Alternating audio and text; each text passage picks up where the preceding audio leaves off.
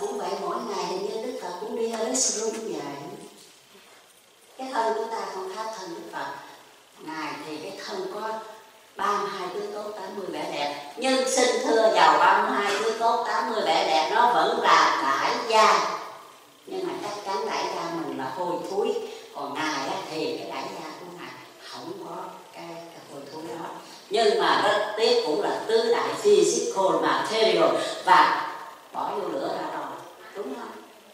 À còn xá lợi xin thưa chẳng qua là manifestation thể hiện của một vị phật. Có nghĩa là chịu đựng được nghiệp khi mà thiêu. Nhưng mà xá lợi vẫn là physical nhé vẫn có atom nhé đồng ý không? Đạo phật là bây giờ rất là khoa học biết chinh phục cả thế giới. Và một cuộc hội nghị à, tất cả đồng ý kể cả bên đạo phật là đại diện cho tôn giáo của trái đất này. Đó. Vì vậy tí nói đó là cái ờ, relic à, cái ờ, sao lợi chẳng qua là vì cái định lực của một cái bậc giác ngộ. Nó chuyển hóa cái xương. Đó.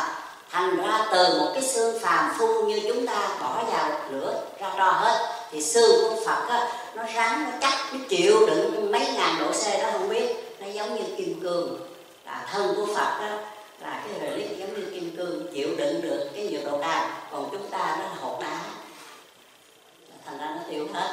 Đó, vì vậy nên nhớ cái relic đó. Mình thờ đó là vì tượng trưng tất cả tượng trưng. Và cái bức tượng này cũng là là bùn là đất đúng không? Bằng gỗ bỏ vô lửa là thiêu.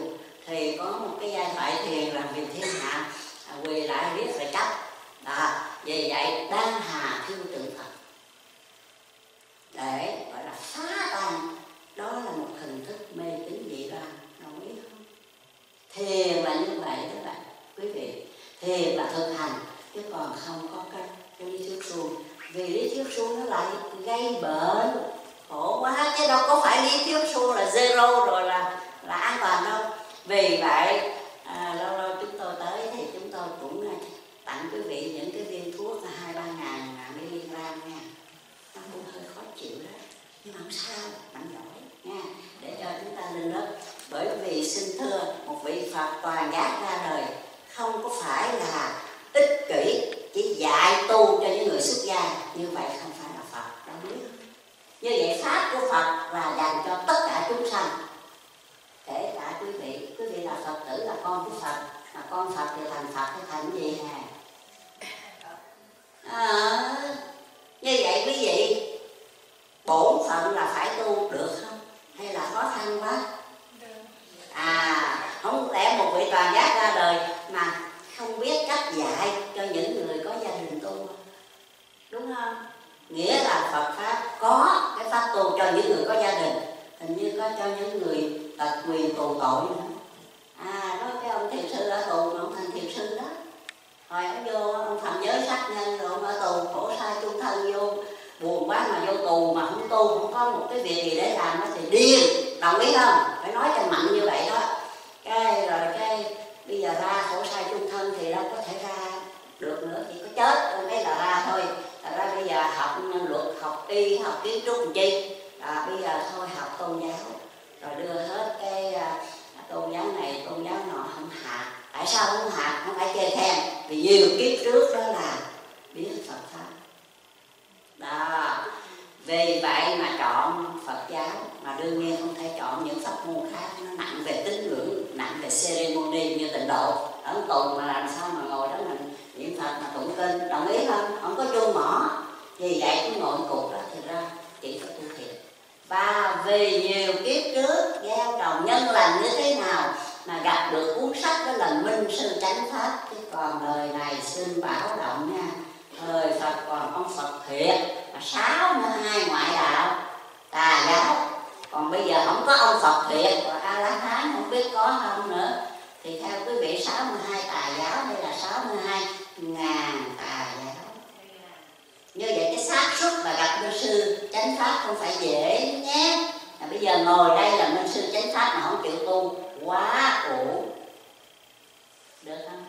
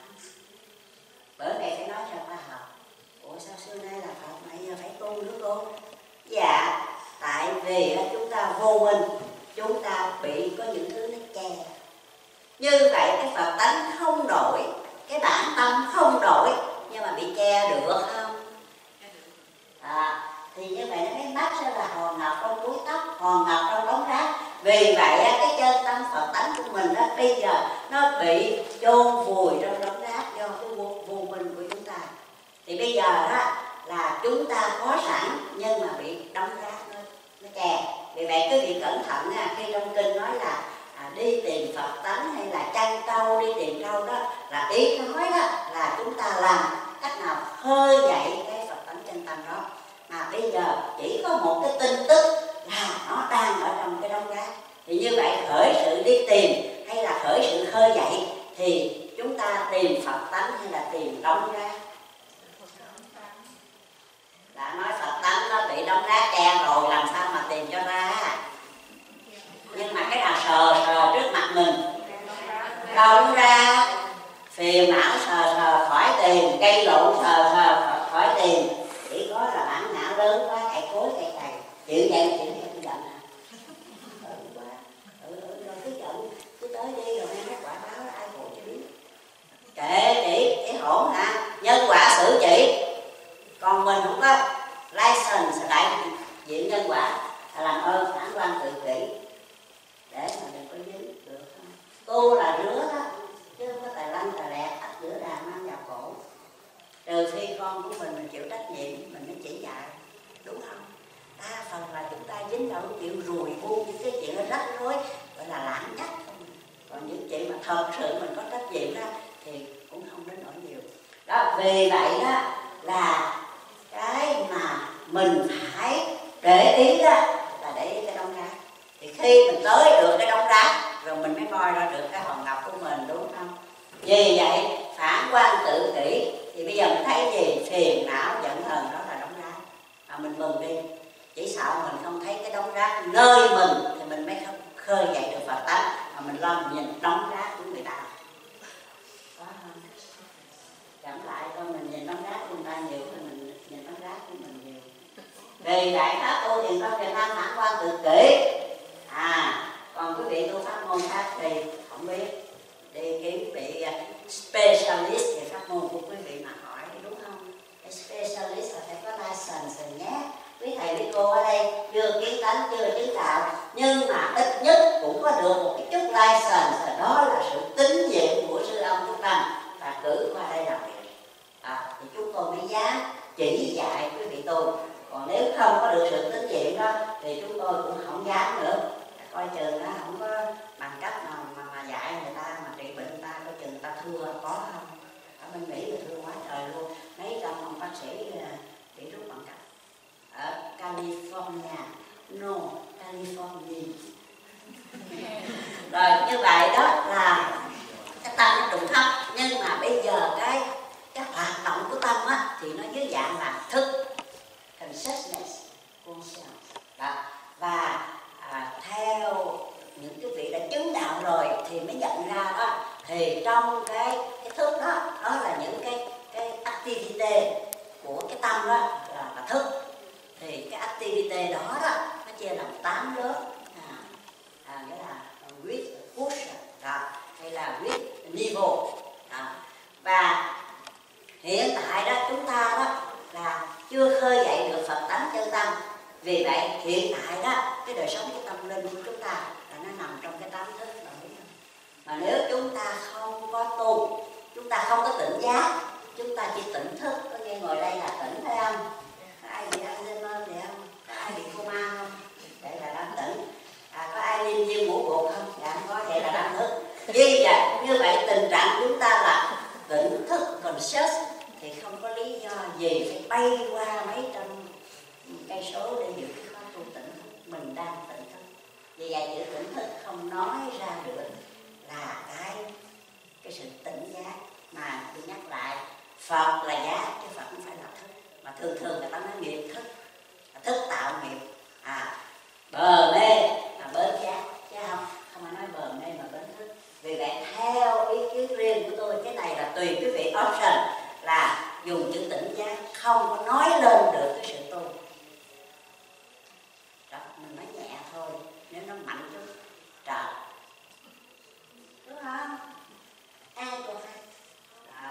mà đúng là phải tỉnh giác và tôi rất mừng là sư ông Trúc Lâm quý vị xem lại coi có khi nào sư ông dùng chữ tỉnh thức ra. Và sách vở bên Tây Phương cũng vậy đó là tỉnh giác aware awareness. Còn tỉnh thức conscious consciousness. Rất là rõ ràng. Thành ra nói như vậy để chúng ta thấy rằng ha, là ví dụ tôi á, mà được tu học với sư lâm Phúc Lâm thì tông Việt Nam là chân truyền authentic Zen thì tôi mới nhận ra chỗ đó. Còn không thôi lạc vào cái rừng kinh điển. Rồi bây giờ gọi là thời thượng là người ta thấy chữ tỉnh thức nghe nó có vẻ kêu cái gì cũng tỉnh thức khóa tu tỉnh thức đâu không phải như vậy và thành ra không có phải đơn giản cái vì là mấy năm đó vì vậy cái thức này là cái thức mà nếu không tu là cái thức tạo nghiệp hoặc là nghiệp thiện hoặc là bất thiện. Còn nếu chúng ta tu á, thì ở đây tôi đã có học rồi thì là thức trên pháp tu thì thức trên pháp tu tuyệt vời.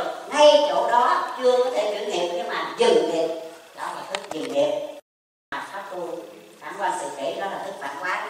Thì bây giờ ở đại thái nó cũng dễ thôi quý vị Ủa sao nó ok cái này nó hơi nhỏ thì à, cái căn đó là sense organs thì là mắt tai mũi lưỡi thân.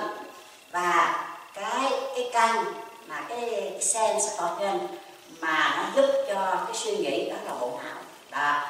Và cái cái biết và nơi cái con mắt gọi là nhãn thức à nhĩ thức tỷ thức thiệt thức thân thức.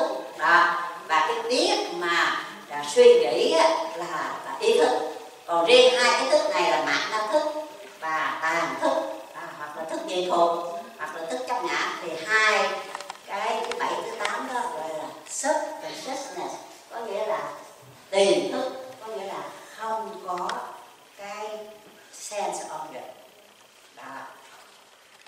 Và cái cái biết đó thì nơi con mắt gọi là thấy. À, rồi nơi tai mũi lưỡi thân thì gọi là nghe ngửi nếm thân là xúc chạm quý vị biết lạnh nóng đó là cái biết của thần thức. À, lạnh nóng ngứa nhộ đó là thần thức thấy không? À còn riêng á cái ý thức đó cái biết đó là cái biết suy nghĩ. À, còn cái pháp trần là cái xin lỗi cái trần cảnh đó là cái đối tượng object à, của những cái thức. À, thì nếu mà mắt á, đối tượng nó là sắc form à, còn nếu mà tai á, đối tượng của nó sao? Âm thanh. Rồi mũi đó là mùi hương odor đó. Rồi còn là lưỡi đó là cái vị đó, là cái uh, taste object là có nghĩa là nó đắng nó cay nó ngọt vân vân. Và tới cái thân đó là cái xúc chạm đó. Có nghĩa là mềm dịu à, thô à, rát rồi vân vân. Đó. Và đối với cái à, à, ý thức á, thì cái đối tượng là mà pháp trần đó là những cái gì trừu tượng. Là, là chẳng hạn như niệm tưởng đây con xe hoặc là những cái gọi là uh, nhãn kiến những cái quan điểm à, qua point, de vue à, hoặc là judgment những cái phê bình tốt xấu này kia đó cái đó hoàn toàn đó là đó là abstract là có nghĩa là trừu tượng. Thì đó là đối tượng của cái ý thức đó đó là chúng tôi giới thiệu với quý vị. Ừ. Còn bây giờ cái chữ nho này đó ở trên đó là bộ kim ha. Đó à, có có có giống như cái cái cái mái nhà vậy đó. Còn ở dưới đó là bộ tâm vì vậy cái niệm khác mà chữ tâm khác. Quý vị thấy rất rõ. Chúng ta mượn chữ nho để chúng ta hiểu để chúng ta tu. Chứ chúng ta ở đây thì con Việt Nam là hành giả chứ không có học giả. Vì vậy mình chỉ cần hiểu một cái gì căn bản để mình tu cho đúng thôi còn mình không có bạch lá tìm sâu rồi mình nghĩa là mò mò đó ở đây cũng không có ai đi. À, có cái ý định là PhD Phật học. Chính là ở thiền viện đó là người tu á mà bây giờ muốn đi ra ngoài học các trường Phật học á thì sư âm rất là à, gọi là nghiêm túc sư âm nói muốn như vậy xuất chúng. Ở đây không có chủ trương đào tạo theo cái, cái học giả. À, ở đây là hành giả và chúng ta văn tư để tu. Chứ không phải văn tư để có PhD quý vị thấy rõ không? Hai cái nó khác. Đó vì vậy phật tử tùy tùy quý vị thôi. Quý vị chọn con đường nào. Nhưng mà xin thưa quý vị nên tôi chúc cho quý vị đó thân tại gia mà tâm xuất gia được không? À đó. Mà như vậy cái cái examen đầu tiên đó là anh trai. Đó, đó. thì bây giờ dễ thôi cái gì cũng tập của người ta cũng mình mẩy tay chân vậy sao người ta ăn chay được? Mình cũng ăn ăn chay không được. Bây giờ cái này thích tướng nha. Ăn chay thử đi con có chết ai thì bây giờ có một con vợ đó ok rồi ăn chay. À, một tháng hay là một tuần mấy ngày? Ăn thử đi.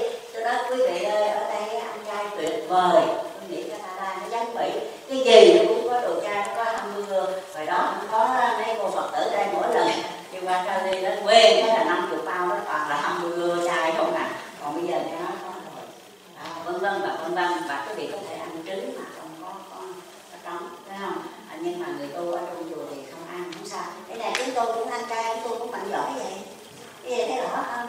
À, rồi cái thứ hai nữa đó là quý vị tu hồi xưa cũng như bây giờ các vị nó còn lao động nặng nữa mà. Chứ đừng có nghĩ yếu yếu cái gì làm muộn quá trời luôn mà khiên rồi đó. Ờ, à, ví dụ như quý thầy ở đây đó, còn leo lên mấy nhà mà làm búa xua. Thành ra đừng nói vậy nó cười đó mày là hậu. Tại vì ở bên mỹ giờ không có tu hành gì hết đó, mà nó cử cholesterol nó cử búa xua hết nó cũng ăn chay luôn. À, rồi nó về ăn chay cái thấy thầy, rồi cái bắt đầu tò mò cái đạo phật giống như quý vị này nè cái rồi đó cái người ta từ từ từ cái ăn chay người ta qua cái. À, à, vì vậy đó à, là hôm nay tại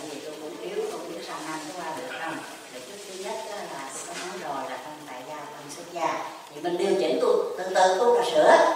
À, à, hồi mới sanh ra thì tôi cũng phải ăn mặn vậy. À rồi cái mình chuyển từ từ. Rồi cái lời chúc thứ hai đó là chúng ta ra đi một la đi hiểu không? À cái lời chúc đó mà có có nhiều vị bên ta đi đang ở đại đăng đó ông đi trước để bà dọn dẹp. Ở việc nhà rồi tới bà đi sau để ông ở đại đăng tăng. Khi mình ra đi bên kia thế giới á, với cái hình tướng xuất gia á, có nghĩa là nó cái là mình chuẩn bị rất là kỹ cho đời sau. Nó ấn tượng rất là hay. À, bởi vậy tôi nghĩ ví dụ như nhiều người cũng có con cái nhưng mà cái kiểu cái kiểu ông châu với lại canada mỹ là ở mình ở Nam sinh chứ vậy thấy không? Cũng ra khỏi nhà rồi. Thì bây giờ tạo cái đầu cái thành một cái cái bà đi cô sư cô có, có phải là đẹp hay không? Vì đồng biết không? Rồi mình có thể cái chùa nào mà rộng cái chùa đây, sau này có thể có một cái đơn vị, có mấy cô ni nè. Mình lại đây mình ở có phải âm cúng không? Tôi nói thiệt á.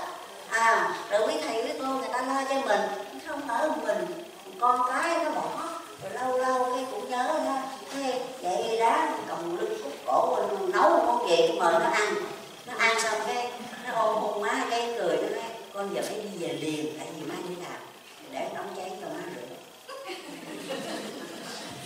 hình như tôi nghe đâu đó là tôi tưởng tượng vậy đó. Thí dụ thôi nha à, ta nói nói thật à, rồi mình ra đi trong vòng tay của đại chúng. À, trong mình làm và có cái y vàng ấn tượng như lắm. Tại vì bốn chín ngày đó. Trong cái lúc mà mình mình mất thì sao? Thì có nghĩa là mắt tay mũi lưỡi với cái thân nó chết. Phải nói là nó đen nó chết. Đó. Nhưng mà thường thường cái trái tim mà ngưng đập á thì kể như chết nhưng mà bây giờ khoa học tiến bộ á thì thấy cái trái tim ngưng đập nhiều khi chưa chết tại trái tim nó nó bị cục lắm. À rồi cái nó trở chứng cái nó đập lại. Cho nên có người à, bỏ vô hòm nhiều khi chôn rồi mà đặt cái hòm thành thường thành thật rồi không ai biết thì chết thiệt rồi à, vì vậy bây giờ khoa học tiến bộ. Trái tim chết và bộ não chết bên kia ấy phải tử cái gì đấy tuyệt vời không? Thì như vậy đó một cái người chết đó thì cả cái sáu thức đó là nhãn nhĩ tỷ thiện thân và ý thức là ngưng hoạt động ngưng hoạt động không chết. Xin thưa đời sống tâm linh của chúng ta không chết. Mà tiếp tục qua thế giới bên kia. Tuyệt vời. Tuyệt vời mà không tu để thành phần quá cũ có một cái cục pin mấy triệu vôn để thành phật mà không sử dụng. Cắm vào mấy cái máy là đô la, nhà lầu là xe hơi, rồi hột xoàn kim cương, mấy cái lũng tuổi mấy vôn quý vị đồng ý không? À, vì vậy đó một cái hương linh trong cái quan tài đó thì đó, là sáu thức đó, là nó non active và nó nằm trong kho và nằm trong thức thứ tám. Rồi tới cái thức thứ bảy là sao? Là nó không có một cái sensor organ nào hết. À nhưng mà sở dĩ thức thứ bảy hoạt động được là ăn bám theo cái thức thứ sáu mà thức thứ sáu bây giờ đó là gọi là hết hoạt động thì thức thứ bảy cũng cũng thất nghiệp luôn. Vì vậy mà thức thứ bảy, cũng chu vô kho. Ở đó chờ chờ có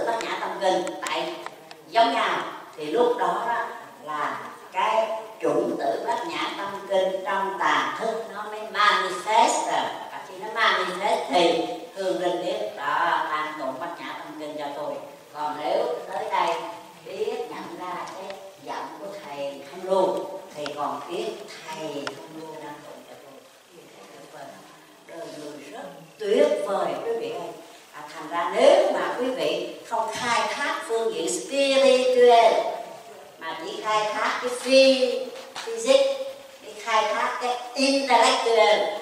Intellectual đó là thành kỹ sư bác sĩ. Thì quý vị chưa khai thác hết cái vi diệu cái wonderful của cái cái người. Cái người là spiritual.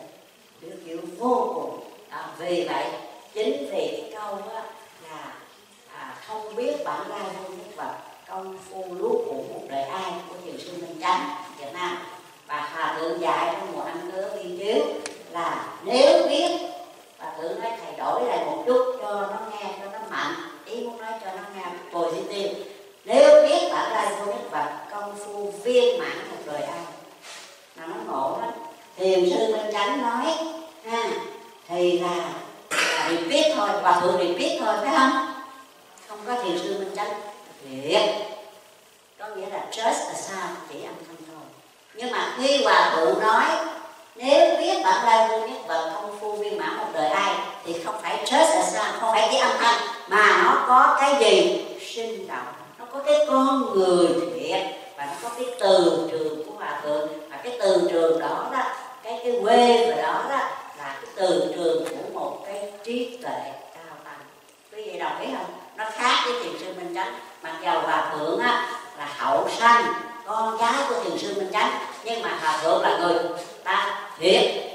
Đang đọc cô đó. Nó mạnh hơn không con? Mạnh hơn. Còn thiền sư minh chánh mặc vào tổ, hay là phật á, nhưng mà cái đó là quá khứ rồi, và chỉ là repeat lại thôi.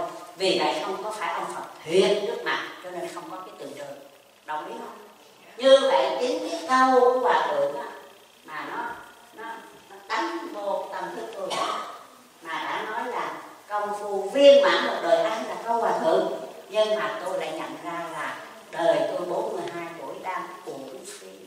Ông thầy tiền sư minh trắng nói chữ uổng phí mà tôi không nhận ra. Bởi vì cái câu đó là không chết lặp lại của người xưa chứ không phải người ta thiệt. Còn câu của hòa thượng là câu sống hoặc ngữ vì vậy nó đánh vô tâm thức. Thì từ cái cái cái từ trường đó tôi mới nhận ra là mình đã uổng phí 42 năm rồi. Bây giờ thấy rõ không? À, vì vậy chúng tôi hay mượn lời hòa thượng. À, cho nên quý vị bây giờ không còn được cái phước á, mà hưởng được cái từ trường nhưng nếu chịu khó lấy phép mua vé máy bay thì quý vị có thể hưởng được. Đi về để Nam. Thật ra từ trường một cao tăng đắc đạo dư sức để làm dội qua tới đây đúng không? Đồ thiện thì nó không có cần phải à, xa hay gần. Quý vị đồng ý không? Nhưng mà tại sao quý vị không hưởng được? Hòa thượng đưa tay ra. Hòa thượng đủ sức để giúp chúng ta. Nhưng mà nghiệp chúng ta nặng, chúng ta nắm không tới, có không? À tôi diễn tả cái cái hành động của bồ tát quan thế âm hay đức phật a di đà. Các ngài đã thành phật thành bồ tát, các ngài dư sức của chúng sanh. Mà các ngài có nguyện, mà các ngài làm được, chứ không phải nói dối. Nhưng mà tại sao chúng sanh còn đây khổ? Dạ vì nghiệp nặng quá, các ngài đưa tay mà mà không được, đúng không? Ai tu nấy chứ? các ngài nguyện là vì cái từ bi giúp như vậy cái thiện ra đức phật không có đi thi dùng chúng ta. Bồ tát không có đi thi dùng chúng ta, mà chính chúng ta phải đi thi là mới không à để bây giờ mà mình đi thi mà còn không chịu học nữa thì sao? À đó. Ta nói như vậy để lâu lâu tới push nha. Push được quý vị tu. À để mà quý vị bạn tự khởi đầu năm bước đầu khó nhưng mà khi quý vị đi vào, quý vị sẽ khám phá. Trời ơi, giàu cho nó. Nó thường tầm thường đi được nhưng mà, tôi khám phá mấy lần của tôi. Mặc dầu cái bánh nó nó dở hơn tiền nhưng mà nó quý ở chỗ là kho mê. Đúng không? À còn đi mua về thì không có tình gì mặc dầu rất ngon. Chưa chắc gì ăn ngon. Nguyên tắc là ngon, nhưng vì không có cái tình trong đó thành ra nhiều khi mình ăn vô miệng không thấy ngon đúng không? Còn cái bánh nó khác khác nó này kia kia nọ mà, cái công của người ta cái tấm lòng của người ta thì mình lại thấy ngon. Vì vậy tùy quý vị chúng ta sống vì vật chất hay là chúng ta sống vì tâm linh. Đó, chỗ đó là chỗ chúng ta phải suy nghĩ để đừng có uổng cuộc đời bởi vậy đó thời tôi cũng thấy những phật tử rất là lâu ờ, ở đạo nguyên mà sao đổi quả thấy ai xuất gia hết rồi đó như vậy là cái tàn thức đó, nó, nó liên tục rồi nó có thân rồi nó qua rồi sao đó ý chúng tôi cũng nói vậy vì vậy trở lại cái chữ niệm này đó thì ở dưới là bộ tâm ở trên là bộ kim bộ kim nó là here and now this here and now có nghĩa là chữ niệm á à, là tiếng uh, mỹ là à, tiếng uh, nhật là nen đó thì nó gọi là à, tôi cũng không biết tiếng tiếng pháp là cái gì à, là mà tiếng uh, tiếng mỹ đó cũng nói là là mai à đó. bởi vì mindfulness là chánh niệm đó thì cái chữ niệm đúng ra cái dịch là state of mind ipatan có nghĩa là tình trạng của tâm chúng ta bây giờ bây giờ tôi buồn thì đó là niệm buồn chứ không phải tâm buồn. Tâm tôi là tâm phật tâm tôi là có nghĩa là cả gọi là đời sống tâm linh của tôi. Mà đời sống tâm linh của tôi đó nó là trang hòa khắc phủ trụ có nghĩa là nó như cái cái em này mới đọc sách nó là nhất tính. Có nghĩa là nó trùng thấp nó chỉ là à, nó không có cái là à, phân biệt đó là à, tôi chỉ là một cái thành phần trong vũ trụ thôi thành phần của cái dung. Vì vậy niệm đó là etadan state of mind. Vì vậy bây giờ niệm buồn chút nữa niệm vui. À, rồi niệm này niệm nọ vân vân. Cái eta thì nó thay đổi nhưng mà toàn bộ đời sống tâm linh của tôi là à, à, vì vậy chỉ có chữ ngon mới giải thích được như vậy. À. và bây giờ chúng ta đi vào cái à, thiền tập chánh niệm thì thực hành dễ lắm quý vị ơi cái à, quý vị có thì giờ để làm hay không? Và nhiều khi có thì giờ mà có siêng là không hay làm điểm à, chứ còn lý thuyết nó mới là khó. Vì vậy mà à, quý vị sẽ có tài liệu à, để mang về nghiền ngẫm và thử ở đây thì à, chúng tôi à, chỉ đọc thôi. Và nếu mà nói về cái gốc nó là kinh nguyên thủy á, thì trong pháp cú có nói như thế này pháp cú 24 nỗ lực giữ chánh niệm tịnh hạnh hành thận trọng tự điều sống theo pháp ai sống không phóng dật tiếng lành ngày gia tăng. Hoặc là pháp cú 293 người tư niệm giác tỉnh lão hoặc được tiêu trừ. À, giác tỉnh tỉnh giác chứ không có nói thức tỉnh. Quý vị thấy rõ không? Tại vì những cái gì traditional đó là tỉnh giác. Còn tỉnh thức nó rất là thời thượng. Đó. Như vậy thì à, tóm lại chánh niệm là gì? Chánh niệm là tỉnh giác. Mà nếu nói là quá hơn đó nhân à, chánh niệm thì cái quả là tỉnh giác. Mà khi chúng ta tỉnh giác đó thì chúng ta có làm trật không? À, thì từ cái tỉnh giác là một cái gì? Tỉnh nó nhỏ nhưng mà thuộc thọ giác thì đó ngay thời điểm quý vị tỉnh giác quý vị là mini phật. Đúng không? Thì phật là giác nhưng mà vì sức còn yếu ha và sau đó mê trở lại thì là chúng sanh. Phật là chúng sanh chúng sanh chúng sanh. Lâu lâu cho hát phải lùi phật một cái. Còn nếu mà quý vị mà à, mà thường xuyên trở về pháp tu bởi vì cái vấn đề là dạ con muốn tỉnh giác how làm thế nào dạ come back to the practice. À, có nghĩa là trở về pháp tu. Có pháp tu chưa mà trở về? À, cái vấn đề đó thành ra theo cô bạch nói thì có thể là không dám mua đủ cả nắm nhưng phần đông quý vị đi chùa nó giống như là cũng không hẳn business nó giống như đi giải trí vậy lâu lâu đổi mua đen. À đi chùa. Bởi vậy quý vị khó khó khó mà thay đổi cái cái cái view của quý vị hay là cái chánh kiến đó. Thì đi chùa thì cũng ai hỏi cũng có đi chùa với người ta. Thì trong lúc ngồi đây cũng an lạc thì nói cho nga chắc cũng đưa làm điều thiện có một tí phước. À thôi vậy được rồi. À, bằng lòng vậy. Chứ quý vị như vậy thì có thể nói tu như vậy là tu tà chứ quý vị chưa có tu professional chưa có tu chuyên nghiệp đồng ý không? À, quý vị mà tu chuyên nghiệp đó, có nghĩa là thân tại gia mà tâm xuất gia. Có nghĩa là chúng ta tránh niệm trong đi đứng nằm ngồi. Thì tại vì chư tổ phật thì cũng cái thân như mình thì cũng tu, xài cái thân để tu. Cái thân là một cái dụng cụ để cho chúng ta tu, chứ không phải là một cái mà chúng ta dính mắc vào nó, chúng ta nô lệ nó, chúng ta thỏa mãn nó để chúng ta tạo nghiệp và để chúng ta đau khổ. Là nhau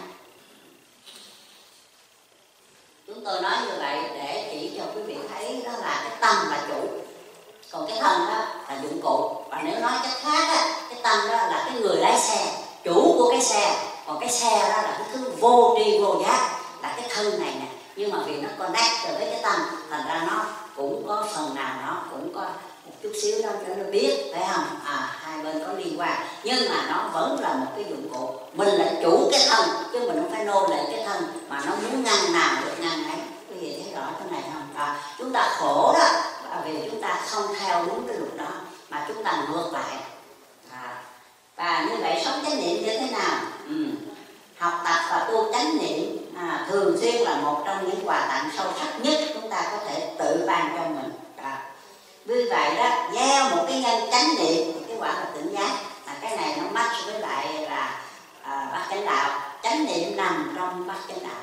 Và nằm trong cái khúc là định. Đó là chánh tinh tấn chánh niệm và chánh định. Vì vậy khi chúng ta gieo cái nhân định thì chúng ta được cái quả là huệ.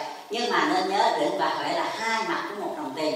Quý vị phải học kinh pháp bảo đà kinh pháp bảo đà vì cái tác giả là lục tổ huệ năng là một người không biết chữ. Cho nên kinh pháp bảo đà có thể nói là đặc sợ là công phu và thực hành. Vì sao? Không biết chữ. Thành ra nó giống như cái ông mà à, Chief quốc vậy đó. Ông không biết chữ ông không có biết diễn tả. Rồi tới mình muốn học canh chua học ừ, mì xào vậy đó ông nói đứng đó coi tôi làm chứ tôi không có biết nói. Cái gì thấy rõ cái này không? Đó.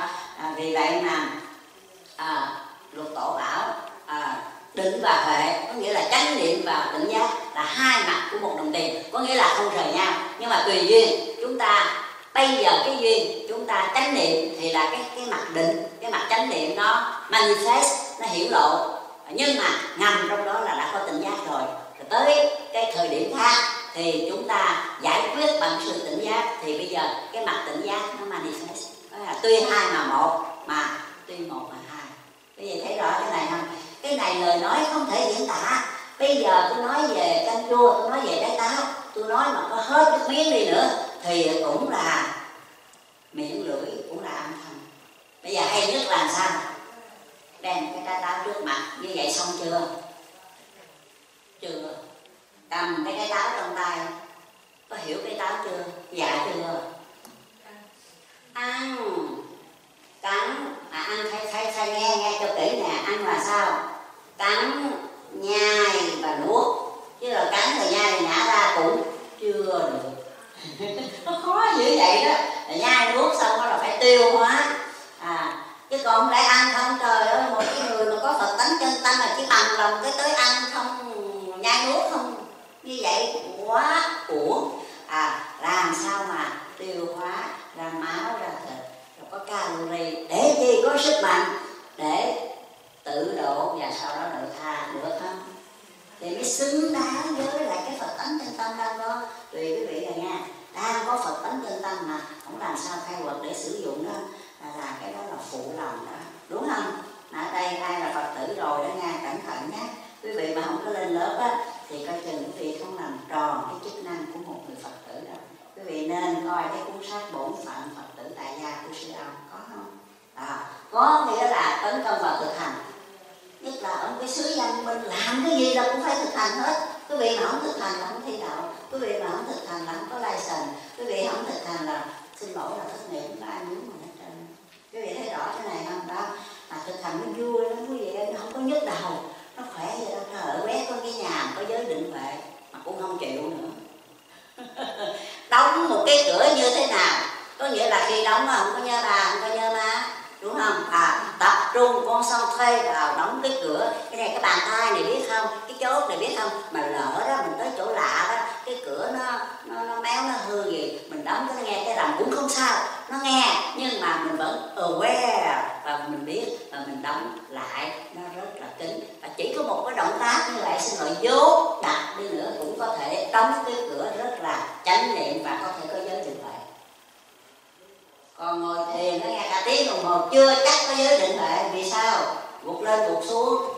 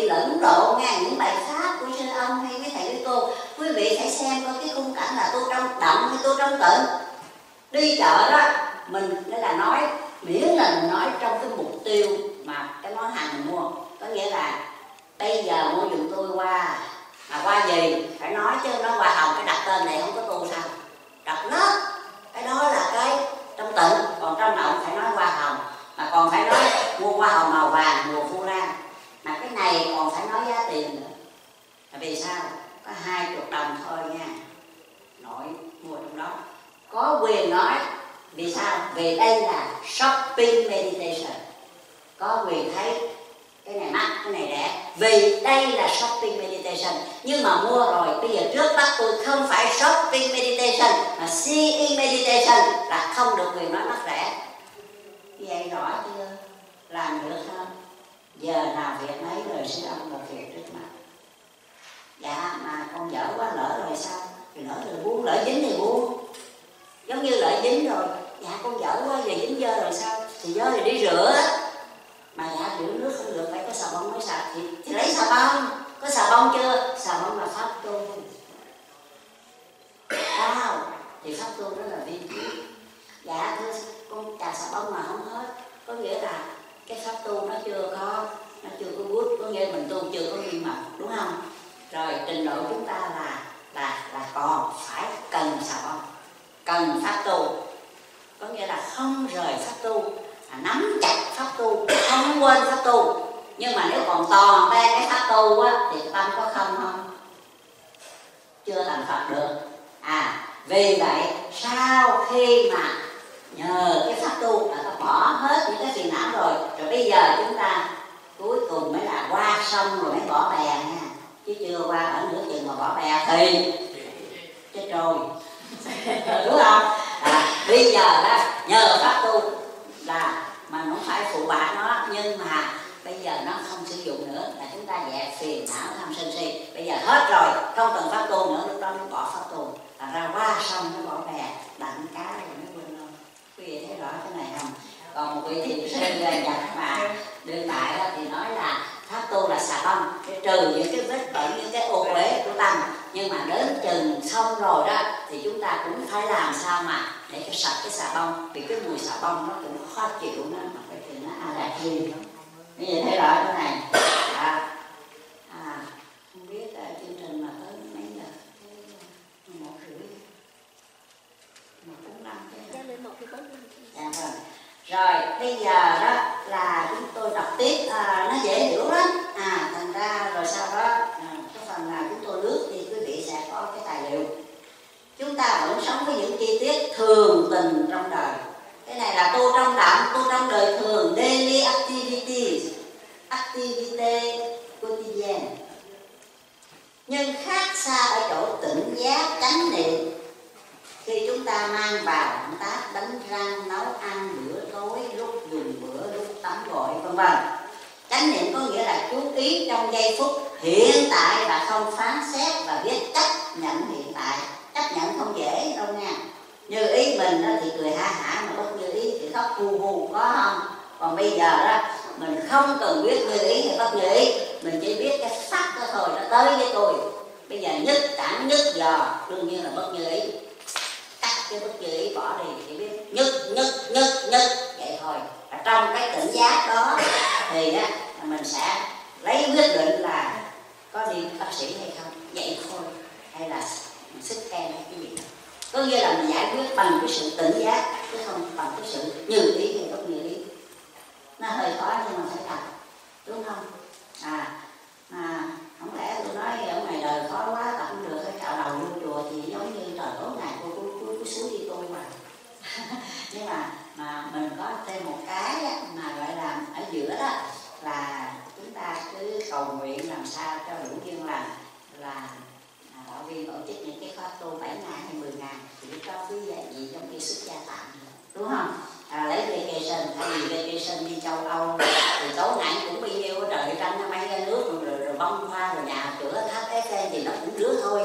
Cái gì đâu biết không? À, coi chừng mà dính vô đó quá đó là, là đem đi qua kia thế giới rồi biết sao đầu thay lại ở bên tây nha. Nhưng mà cái vấn đề ở đâu cũng được là người gì cũng được châu phi châu á gì cũng được nhưng mà vấn đề làm sao mà sống an lạc giải thoát cho mình và cho người. Vua vua luôn mến để vua tu là mùng cái gì đồng ý không? Mới có ý nghĩa. À xung quanh đau khổ mà mình sung sướng rồi nó cỡ mà trong khi ta đói rồi ngồi đấy là ăn ăn ăn ăn được thôi. Không được thấy không? À lương tâm nó cắn xong rồi rứt ra miếng là lương tâm cắn rứt à, à rồi bây giờ chánh niệm là sự biết rõ những gì đang có mặt đang xảy ra chứ không có phải là thầy bói mà biết à, à, quá khứ gì lai mà đang xảy ra cho mình ngay đây và bây giờ cho cái người trước mặt cũng được chứ không phải là cho cái người đâu xa xôi. Chánh niệm là khi nói biết mình đang nói gì khi nghĩ biết mình đang nghĩ gì và khi làm biết mình đang làm gì. Đây là đồng sách tôi thêm vào rõ biết cái người đối diện. Bởi vì mình biết là mình đương rầy người ta. Nhưng mà cái người đối diện, người ta đang buồn, đang khổ, mình không biết. Thì như vậy có chánh niệm không? Mình rất biết mình rầy mình lựa lời, lựa câu để nó tấn công người ta vậy mình biết lắm chứ mình đâu có ngủ mê.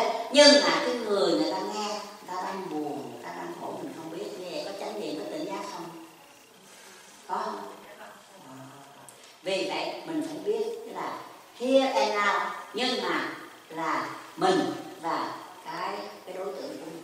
Đối tượng là hoa đối tượng là tắt à, đối tượng của cái thấy cái nghe hoặc là đối tượng là other và các khác là con người.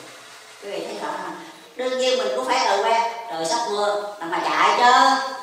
Chứ không tự nhiên cứ biết mình nói cái chuyện đó là dính đó nha à, dính với cái bạn hạ nói thôi là nói là không mưa rồi cái sao chạy không kịp. Như vậy có phải tự giác không? À, hoặc là chẳng hạn như bây giờ chúng tôi nói về cái thiền hành đi. À cái thiền hành đó có nghĩa là chúng ta tập trung vào cái cái bước chân cái bàn chân. À, vì vậy á chân trái bước chúng ta biết. Còn cảnh xung quanh chúng ta nó lọt vô thị trường nhãn quan con mắt. Thấy là thấy chúng ta don't pay attention. Chúng ta chỉ cần thê vào bước. Và chúng ta còn concentrate như vậy. Là khi cái gót chân đó. Bắt đầu chân trái biết ha. Rồi cái gót chân chạm đất biết rồi cái lòng bàn chân biết rồi cái ngón chân biết. Rồi chúng ta đi á chúng ta có những cái cảm nhận những cái feeling những cái sensation là nó mềm à, đi trên cỏ hay đi trên thảm à, hoặc là nó cứng và đi trên cái nền nền gạch nền xi măng hay là nền nền ván à, hoặc là chúng ta biết là nó có cái độ thấp độ cao có nghĩa là chúng ta đang xuống cầu thang hay đang lên cầu thang.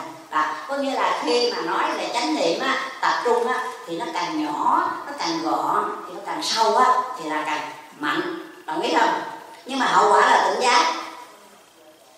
Như vậy đó trong lúc chúng ta chánh niệm chúng ta aware mà cái awareness cái tỉnh giác đó thì unlimited có nghĩa là nó không có nghĩa là giới hạn ở đâu hết có nghĩa là chúng ta trong cái tỉnh giác chúng ta biết ngoài sau lưng có cái gì.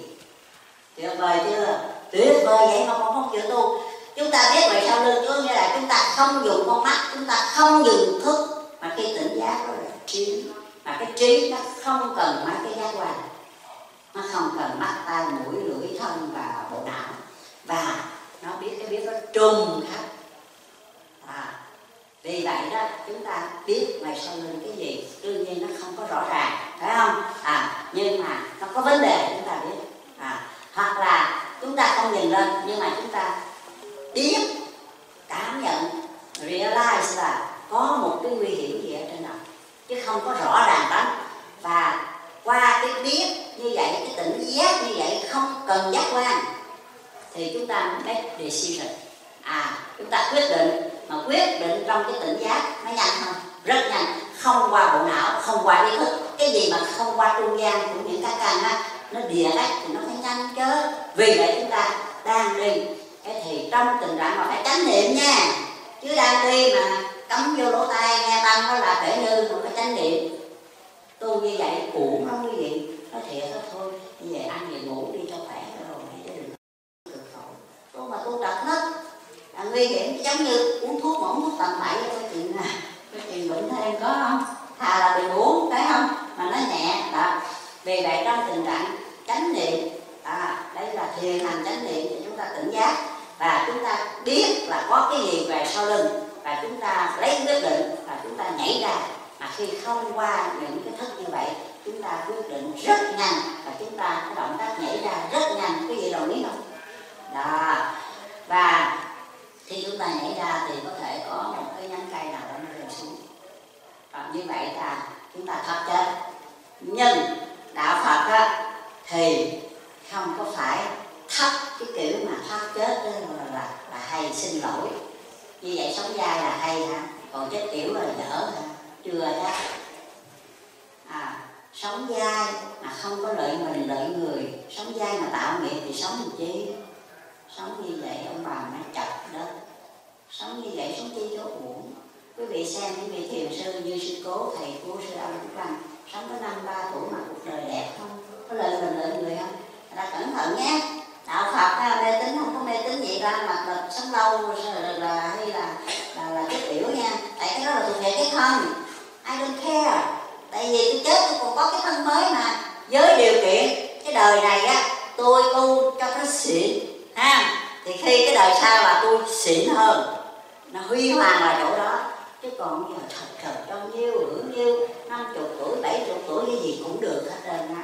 Nhưng mà, every moment, mỗi thời điểm là một thời điểm tỉnh ra đạo phật là nữa đó, chứ không có cái kiểu mà tính ngưỡng dân gian nha. Thường thường nó nhập nhằn tính ngưỡng dân gian nó hay quẹo qua mê tính gì đâu đạo phật không cần thiết. Đức phật thì cũng tám mươi thị hiện thôi đức phật nói muốn sống nữa được nhưng mà cái chúng sanh này nó mình sống nữa nó, nó lì lắm. Nó ỷ mình có mặt cái nó không chịu tu. Thành ra thôi mình ra đi để cho nó tiếc để cho nó tu. Đó, có nghĩa là sống chết là rất là tự tại.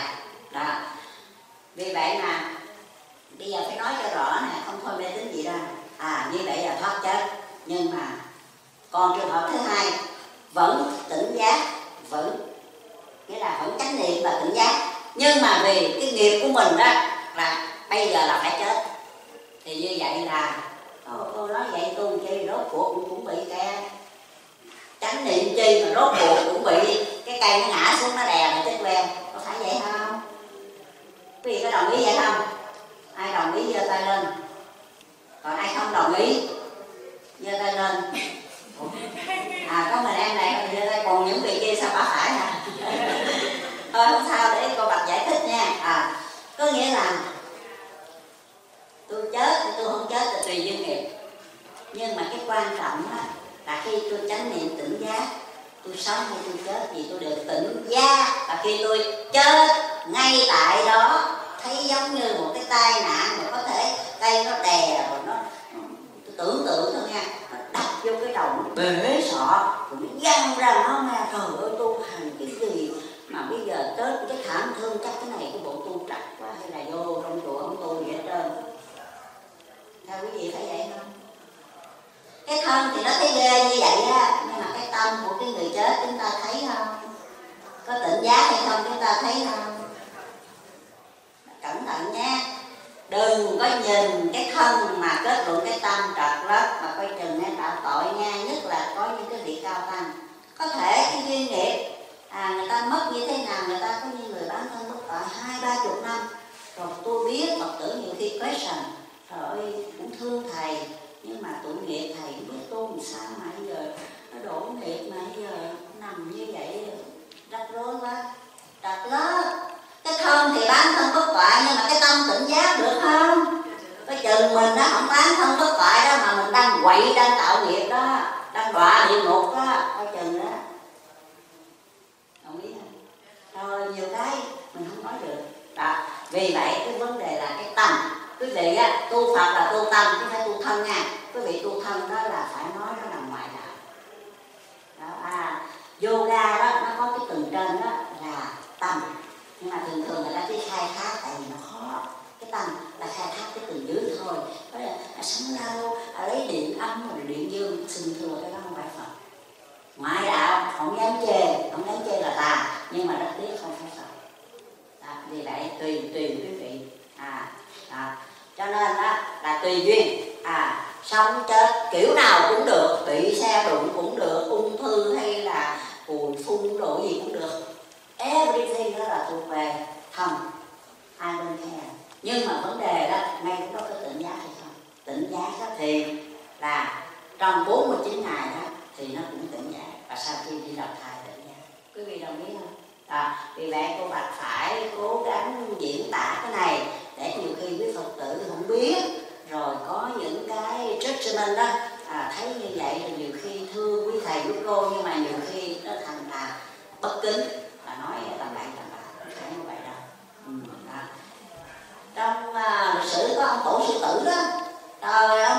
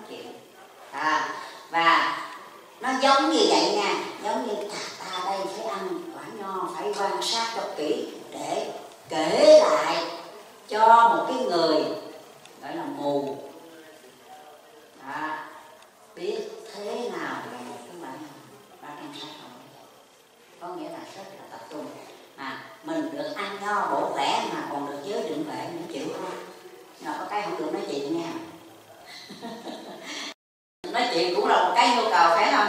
Đó vân vân và vân vân. Ôi hết giờ rồi. Thành ra quý vị sẽ được cái cái phần mà à, chúng tôi gửi quý vị và chiều nay thì chắc à, uh, những vị đi xe bus chiều nay mình còn buổi nữa phải không? Đó thì uh, chúng tôi á là sẽ phát cho quý vị. À à không biết nên phát bây giờ không chú Minh Hoàng chúng ta chiều nay.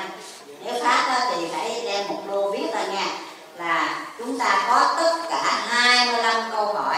À mà mỗi người tự tự trắc nghiệm ha.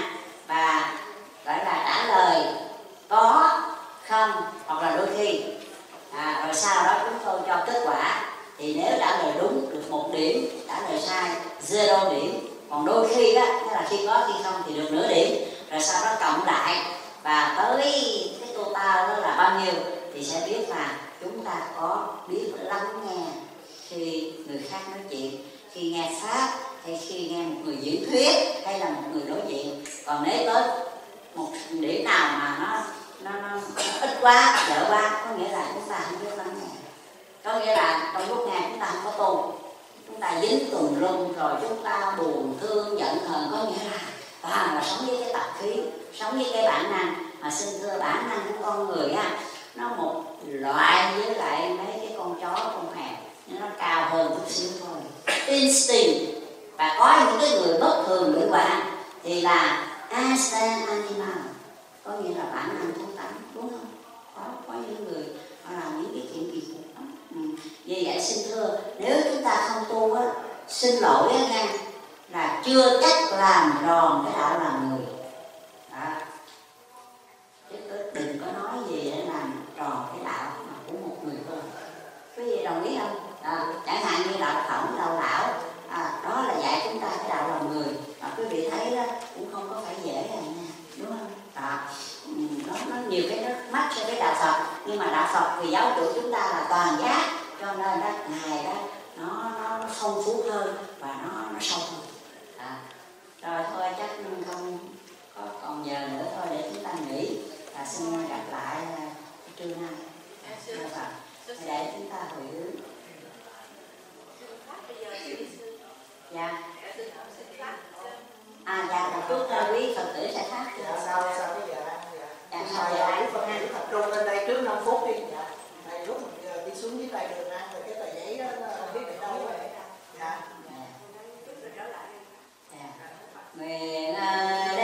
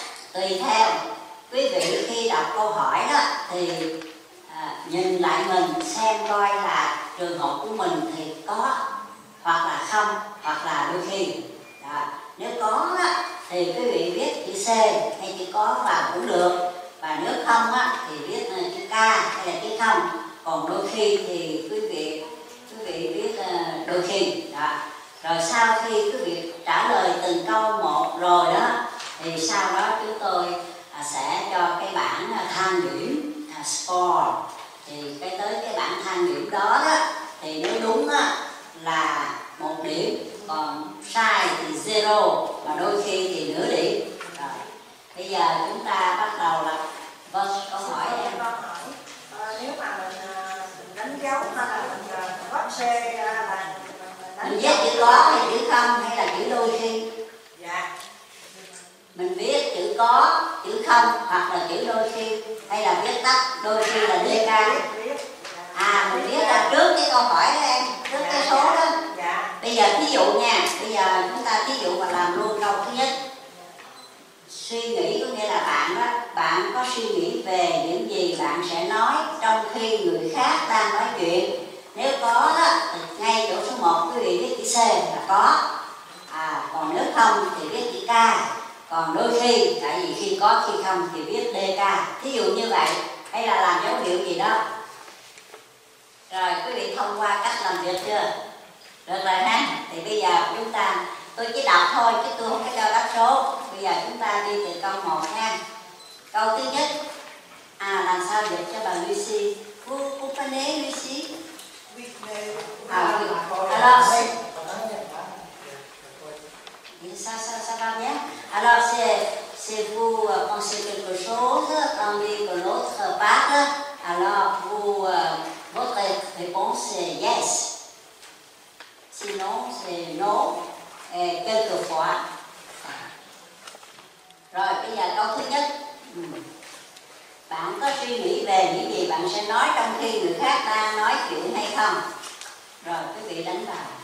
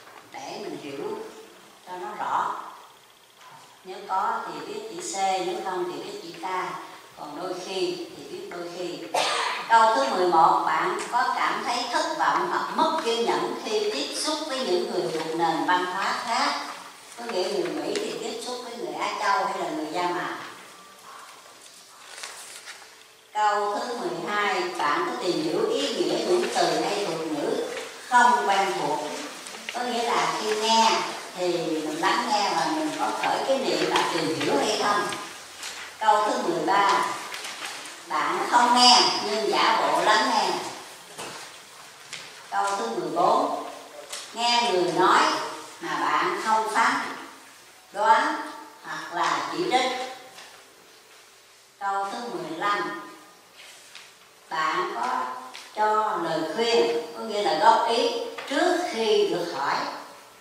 Có nghĩa là người ta đang nói đó cái mình mình góp ý cái mình mình, mình xem rồi cái mình nói. Đó thì cái đó là có thì biết có không thì biết không.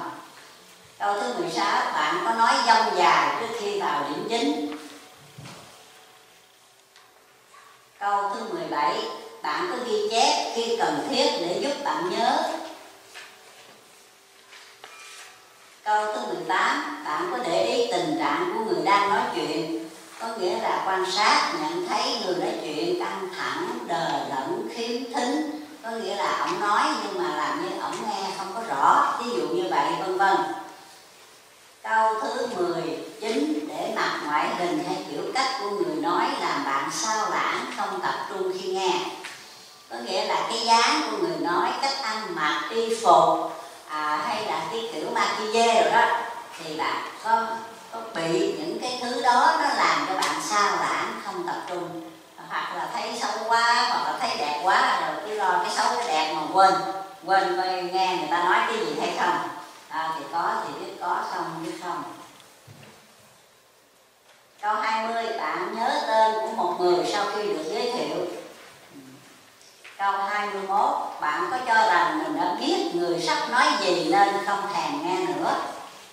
Ừ. Câu thứ 22 bạn cảm thấy không thoải mái trong sự im lặng giữa mình và người cộng sự đang đối thoại. Tại vì cứ nghe đó, rồi tự nhiên mình thấy không có thoải mái. Đó. câu thứ 23 bạn có yêu cầu thông tin phản hồi là feedback để đảm bảo thông điệp của bạn đã đến với người khác. Câu thứ 24 mở đầu lời nói của bạn bằng những nhận xét không xưng tụng chính mình.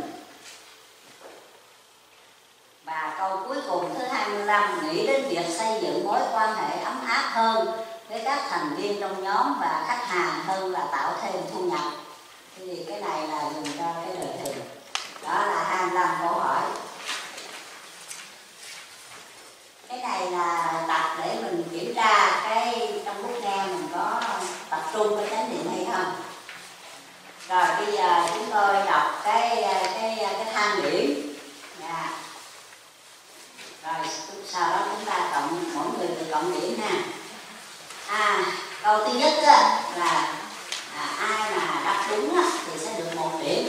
Là no có nghĩa là không có nghĩa là khi người khác đang nói chuyện mà mình không suy nghĩ về những gì mình sẽ nói sau đó, thì cái câu trả lời đúng đó, không suy nghĩ là đúng, có nghĩa là no. Ai ai là đánh dấu câu hỏi này là không? Giơ tay lên. Có nghe nhiều la réponse de la première question, c'est non non the first one so votre réponse No. oui no alors vous marquez un point. Ai trả lời không thì viết kế bên được. Còn ai trả lời có là đặt ngang zero nha. Rồi vậy là làm việc được ha. Rồi. còn đôi khi thì được nửa điểm. Dạ. Dạ cô bộ đôi khi cứ nửa điểm hết rồi cho khỏe. Khỏi suy nghĩ ha à, không cái này mình tập mà mình phải làm cho nó trung thực nha rồi câu số 2 à câu trả lời đúng là no. No. Có nghĩa là những người mà nói mà giàu cho đồng ý hay không muốn nghe thì mình mình mình cũng nghe chứ mình không có tắt âm thanh. À. rồi ai trả lời là không thì được một điểm. Câu thứ ba là câu trả lời đúng là có hai trả lời có được một điểm. Câu thứ tư là trả lời là có là đúng được một điểm. Yes. Le numéro 2 non le numéro 3 oui le numéro 4 oui Nào, rồi câu số năm. À, câu trả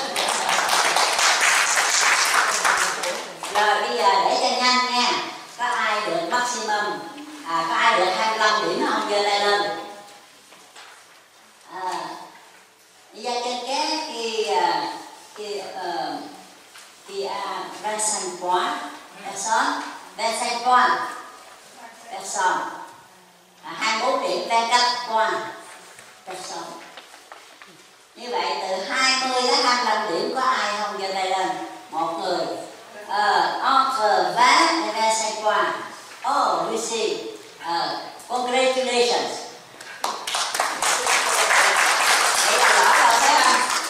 Rồi từ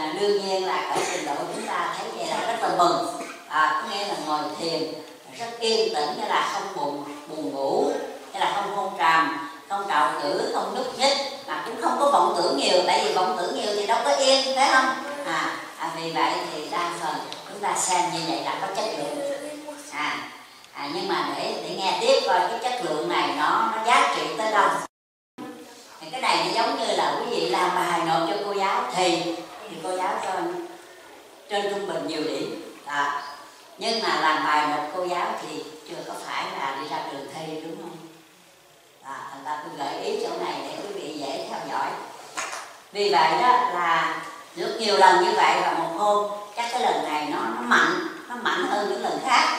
Cho nên ông rất là phấn khởi. Ông bèn sáng tác một bài thơ mô tả lại cái tâm trạng của ông khi ngồi thiền mà có sợ đắc. Như vậy à thì chỗ này tôi ngừng một chút để phân tích. Có nghĩa là khi ngồi thiền tâm mình lặng lẽ à, yên bình thì mình không có làm thơ. Đúng không ạ? À? nếu mình làm thơ là động rồi đó. Nhưng mà sau đó thì à, mình mới là cảm hứng mình làm thơ. Vì vậy cái lúc làm thơ là không phải lúc ngồi thiền. Nó giống như cái lúc mà mình đứng trước cái tháp Eiffel mình thấy vui thế này thế nọ. Nhưng mà đến chừng mình chụp hình rồi mình về Mỹ hay về Canada thì mình kể lại cái cảm giác. Thì cái đó hai cái khác nhau đúng không? À, vì vậy nhiều người cứ nói à, tu thiền nói tĩnh lặng gì mà sao thiền sư thơ kể nhiều? Không phải thơ kể là sau cái thời đó. À, nhưng mà nếu cái lúc gọi thiền mà mình tĩnh lặng thật sự thì cái thơ kể đó nó là thiệt chứ không phải là xạo không phải nói dối đúng không? À còn nếu á, mình mình tưởng tượng thì mình làm thơ thì những cái người mà gọi là kinh nghiệm người ta đọc người ta cũng biết đó là cái này dối không phải thiệt giống như mình có tới đứng tháp xe thiệt mình có những cảm nhận thiệt rồi mình về mình kể cho à, bạn bè nghe. Thì cái cách mình kể đó thì người ta cũng biết là cái này có thiệt mà kể lại. Còn cái cái mình đọc sách là mình à, sáng tác thì cái người mà người ta có kinh nghiệm người ta cũng cũng biết không? Nó giống như rất là tội nghiệp lắm. Nhiều khi nó nói dối nó nói dối nó nghĩ là nó hay lắm. Cái cái mặt nó tên báo luôn nó nghĩ đó là không ai biết. Nhưng mà thực ra những người lớn nghe nó thì mình thương nó thôi. À đó, đó là những cái non nớt của, của chúng ta là đó vì vậy mà cái này là ông có những cảm giác thiệt và sau đó ông làm thơ. Thì câu thơ như thế này cúi đầu để chư phật hào quang chiếu đại thiên. Có nghĩa là khi ông đảnh lễ trước khi ông thiền đó, ờ, thì ông thấy là uh, cái tâm của ông á, là ông nhận ra cái ánh sáng có nghĩa là tình trạng tâm của ông á, là niệm á, là rất là trong sáng tỉnh giác tám gió thổi không động vững vàng trên tọa sen. Thì à, quý vị bởi vậy phật tử á, nếu đi chùa suông á, thì nó nó cũng như mẫu giáo vậy đó. À, vô chơi giỡn thôi à. Lâu lâu học được chữ a chữ b chứ không có thể mà tốt nghiệp bằng cấp được. À rồi quý phật tử sẽ học phật pháp. À, thì bây giờ mà văn và tư á, thì quý vị rất dễ dàng à, lên online đủ thứ hết nhưng mà sau đó quý vị phải cùng. À, có nghĩa là quý vị phải ra đại học có ít nhất bằng cử nhân kỹ sư người ta mới mướn chứ phải không? À, chứ còn thời đây là cái bằng quốc tài không có ai thuê hết. À, rồi nhiều khi ra đại học mà còn thất nghiệp nữa. Đó vì lại muốn có bằng cấp đó, thì quý vị là phải thực hành. À. thế là ý nói đó là trong cái à, à, lịch sử à, Phật pháp á, thì có tám gió có nghĩa là tám cái hoàn cảnh mà nó làm cho mình nghĩa là thử thách đó. À, thiệt ra là bốn thôi mà nó một cặp. Có nghĩa là lợi suy rồi vân vân. Có nghĩa là khen chê. Có nghĩa là mình nghe khen á là mình vui. Như vậy động không? Mà động á thì nó nói theo thiền tâm việt nam là mình đã dính mắt dính với lời khen. À, mà nếu khi mình dính với lời khen thì tâm mình như vậy không tỉnh giác. Đúng không?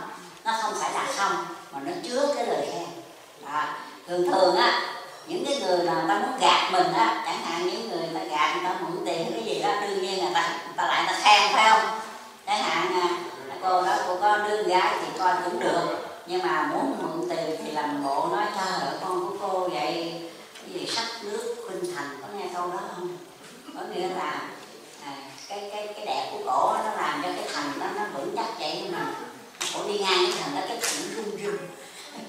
còn thôi là gì? Cái gì? Chim xa cá lặng có nghe câu đó không? Có nghĩa là con chim nó bay ra nó thấy cổ đẹp quá cái nó bay hết nổi. Nó rớt xuống cái bụng xa rồi đó. Một con cá nó ở dưới nước á nó lặn lên để đốt mồi.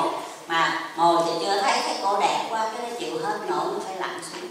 À, đó thì cái nói là à, chim xa cá lặn. À, thì những cái lời khen đó mình dễ dính lời chê đó thì lại giận đúng không?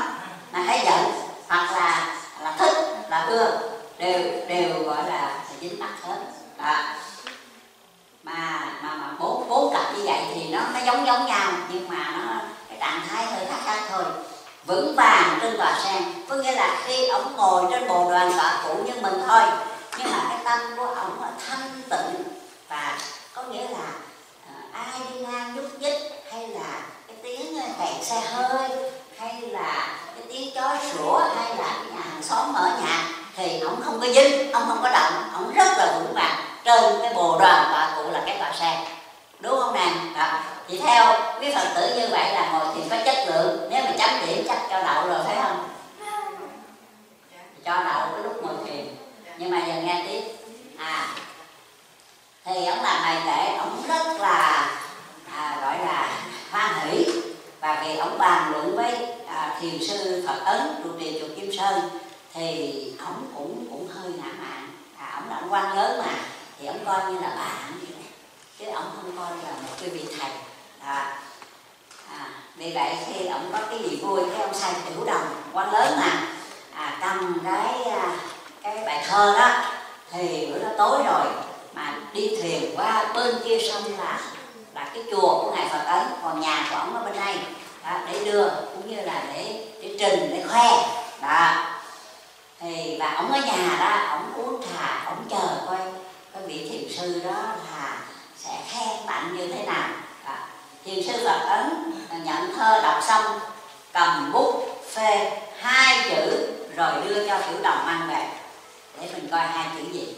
Tô đông pha thầm nghĩ, thế nào thiền sư cũng khen ngợi về cảnh giới tham thiền và công đức tu hành của mình. Ông vội vàng mở thư ra, xem, thấy hai chữ chữ nho là hạ không cái gì có hiểu không? Nếu tiếng việt gọi là đấm rắn Comment ça se traduit en français? Je sais à có nghĩa là trên cái bài thơ đó là cái cái mà mà không biết khen hay chê, mà cái là cái lời phê đó của thiền sư đó là hai chữ không cầm được ngọn lửa không tên. Mà cái gì cái gì mà là ngọn lửa là cái sân. Có nghĩa là cái sân này đó là không thể đặt tên tại vì nó quá cỡ rồi. À, ông bèn bây giờ không có sai tiểu đồng nữa bây giờ giận quá rồi phải đi gặp cho bằng được. Nghĩa là mặt giáp mặt. Tô đông pha bèn chèo thuyền qua sông gặp thiền sư hỏi cho ra lẽ và quý vị biết lúc đó là tối rồi gần nửa đêm rồi.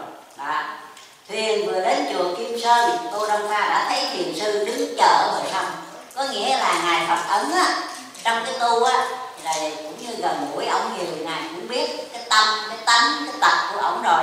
Cho nên vì vậy biết thế nào ông cũng qua. Cho nên ngài rời khỏi chùa đứng ra bờ sông lại. Như vậy thấy thiền sư không? Chơi với nhau cứ tẩy hết. Bởi vì sống với nhau chân thật thì quý vị đó là lời sư âm. Tụi con á, mình tu chân thật. Kể đó tật xấu nó lòi ra đi à, thiệt ta nó không lòi ra thì cũng là tật xấu.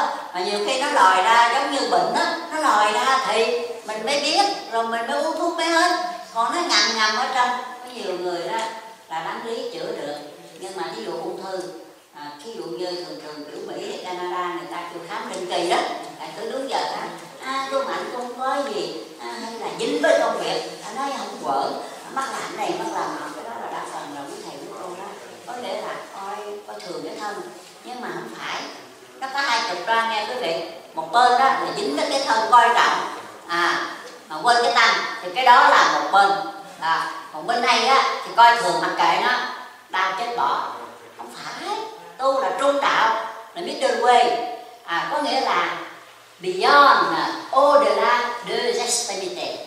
Ce n'est pas ici ce n'est pas là đó. vì vậy mà à, cho nên đó khi mà mình sống chân thật á, rồi cái bệnh của tâm cái phiền não cái gì có thể nó lộ ra rồi có thể mình không thấy người khác thấy chỉ cho mình thì mình buông mình sửa thì là mình giỏi phải không? Đâu có cái gì đâu mắc cỡ mình chưa thành phật mà. Cái cái mà mình không tu là cái mình mình không nhận ra và mình không chịu sửa. Còn bây giờ mình có lỗi cái bình thường giống như hệ có thân là có bệnh thôi. À, vì vậy mà cái cái ngày tô đông pha đó vị thiền sư à, phật ấn thì biết cho nên đứng vào sông trời. Thì tô đông pha thấy thiền sư bèn tức giận hỏi ngay thiền sư chúng ta là thiện hữu tham giao chứ đâu có xem như thầy trò phải không? Thơ của tôi sự tu hành của tôi ngài không khen thì thôi xong ngài lại chửi tôi. Là cái chữ đó là, là cái chữ mắng chửi là hạ không thiền sơ tỉnh bơ hỏi lại ta chửi ông thế nào?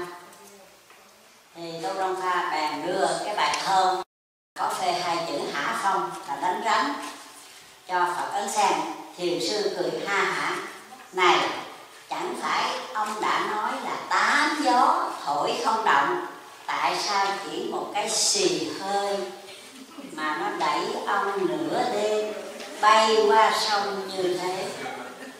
Vậy là đậu hay rớt Ờ, à, vì vậy cho nên mình làm bài trong lớp á, là chấm điểm rất cao nhưng mà ra thi chưa chắc đậu có nghĩa là ngồi trên bồ đà không ai chọc không ai ghẹo đúng không?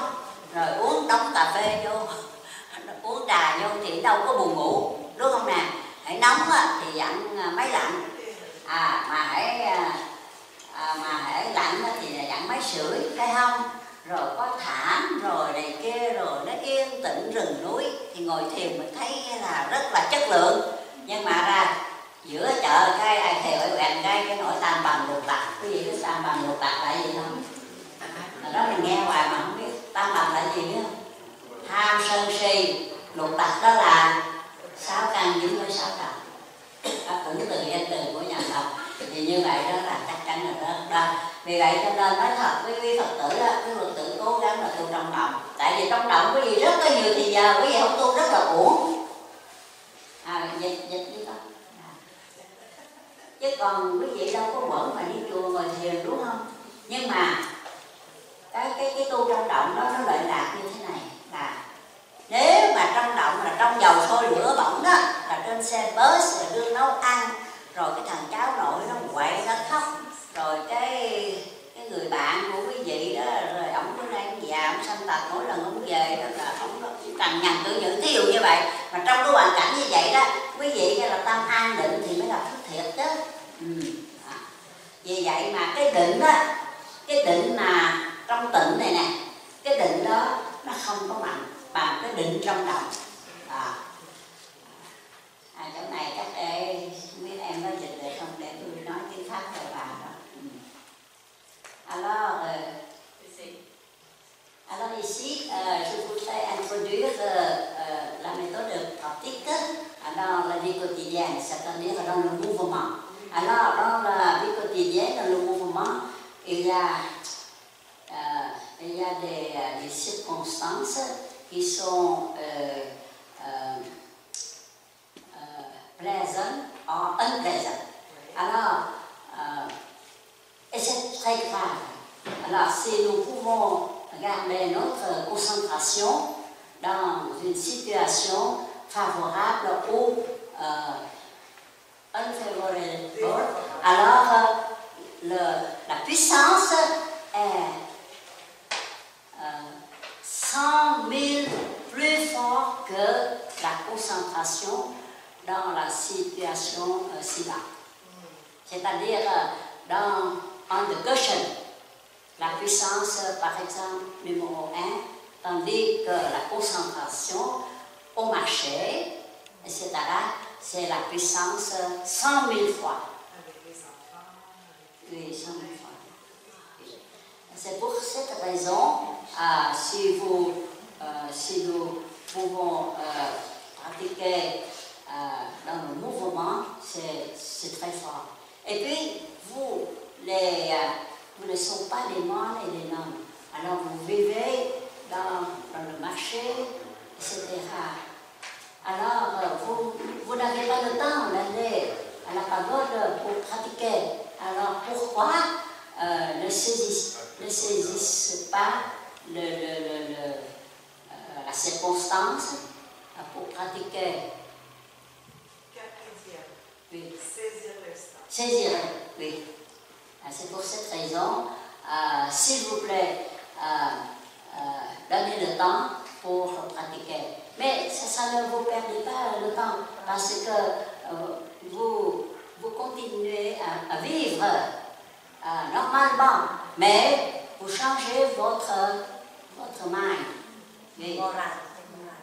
L'esprit. L'esprit, vous changez l'esprit.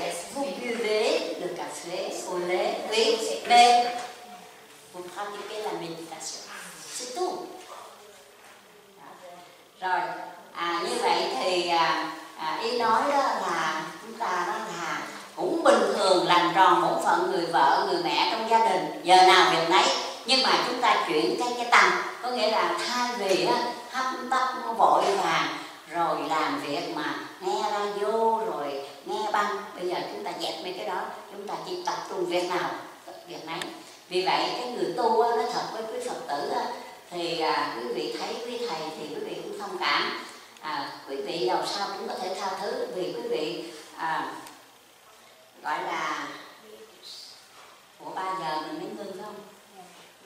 À, quý vị chẳng hạn à, công việc nhiều thì quý vị có thể để giờ sắp lúc còn chúng tôi đó tôi nói thật đó người tu á mà làm cái gì mà đợi sát lúc mà hối hả hối hả đó, tôi thấy như vậy là không có thiền vị, không có đạo vị, đúng không?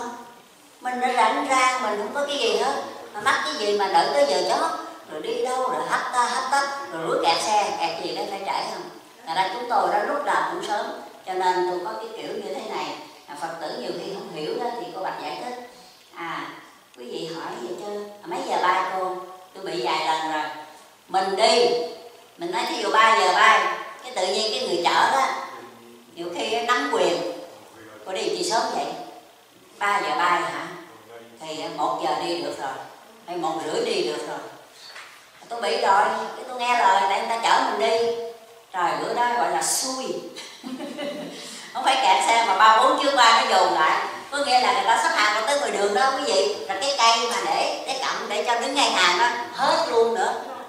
Ờ, rồi đây là thầy của cái cô bảo hiền là tôi đi với cổ nè đi Seattle nè. Trời ơi cổ chạy.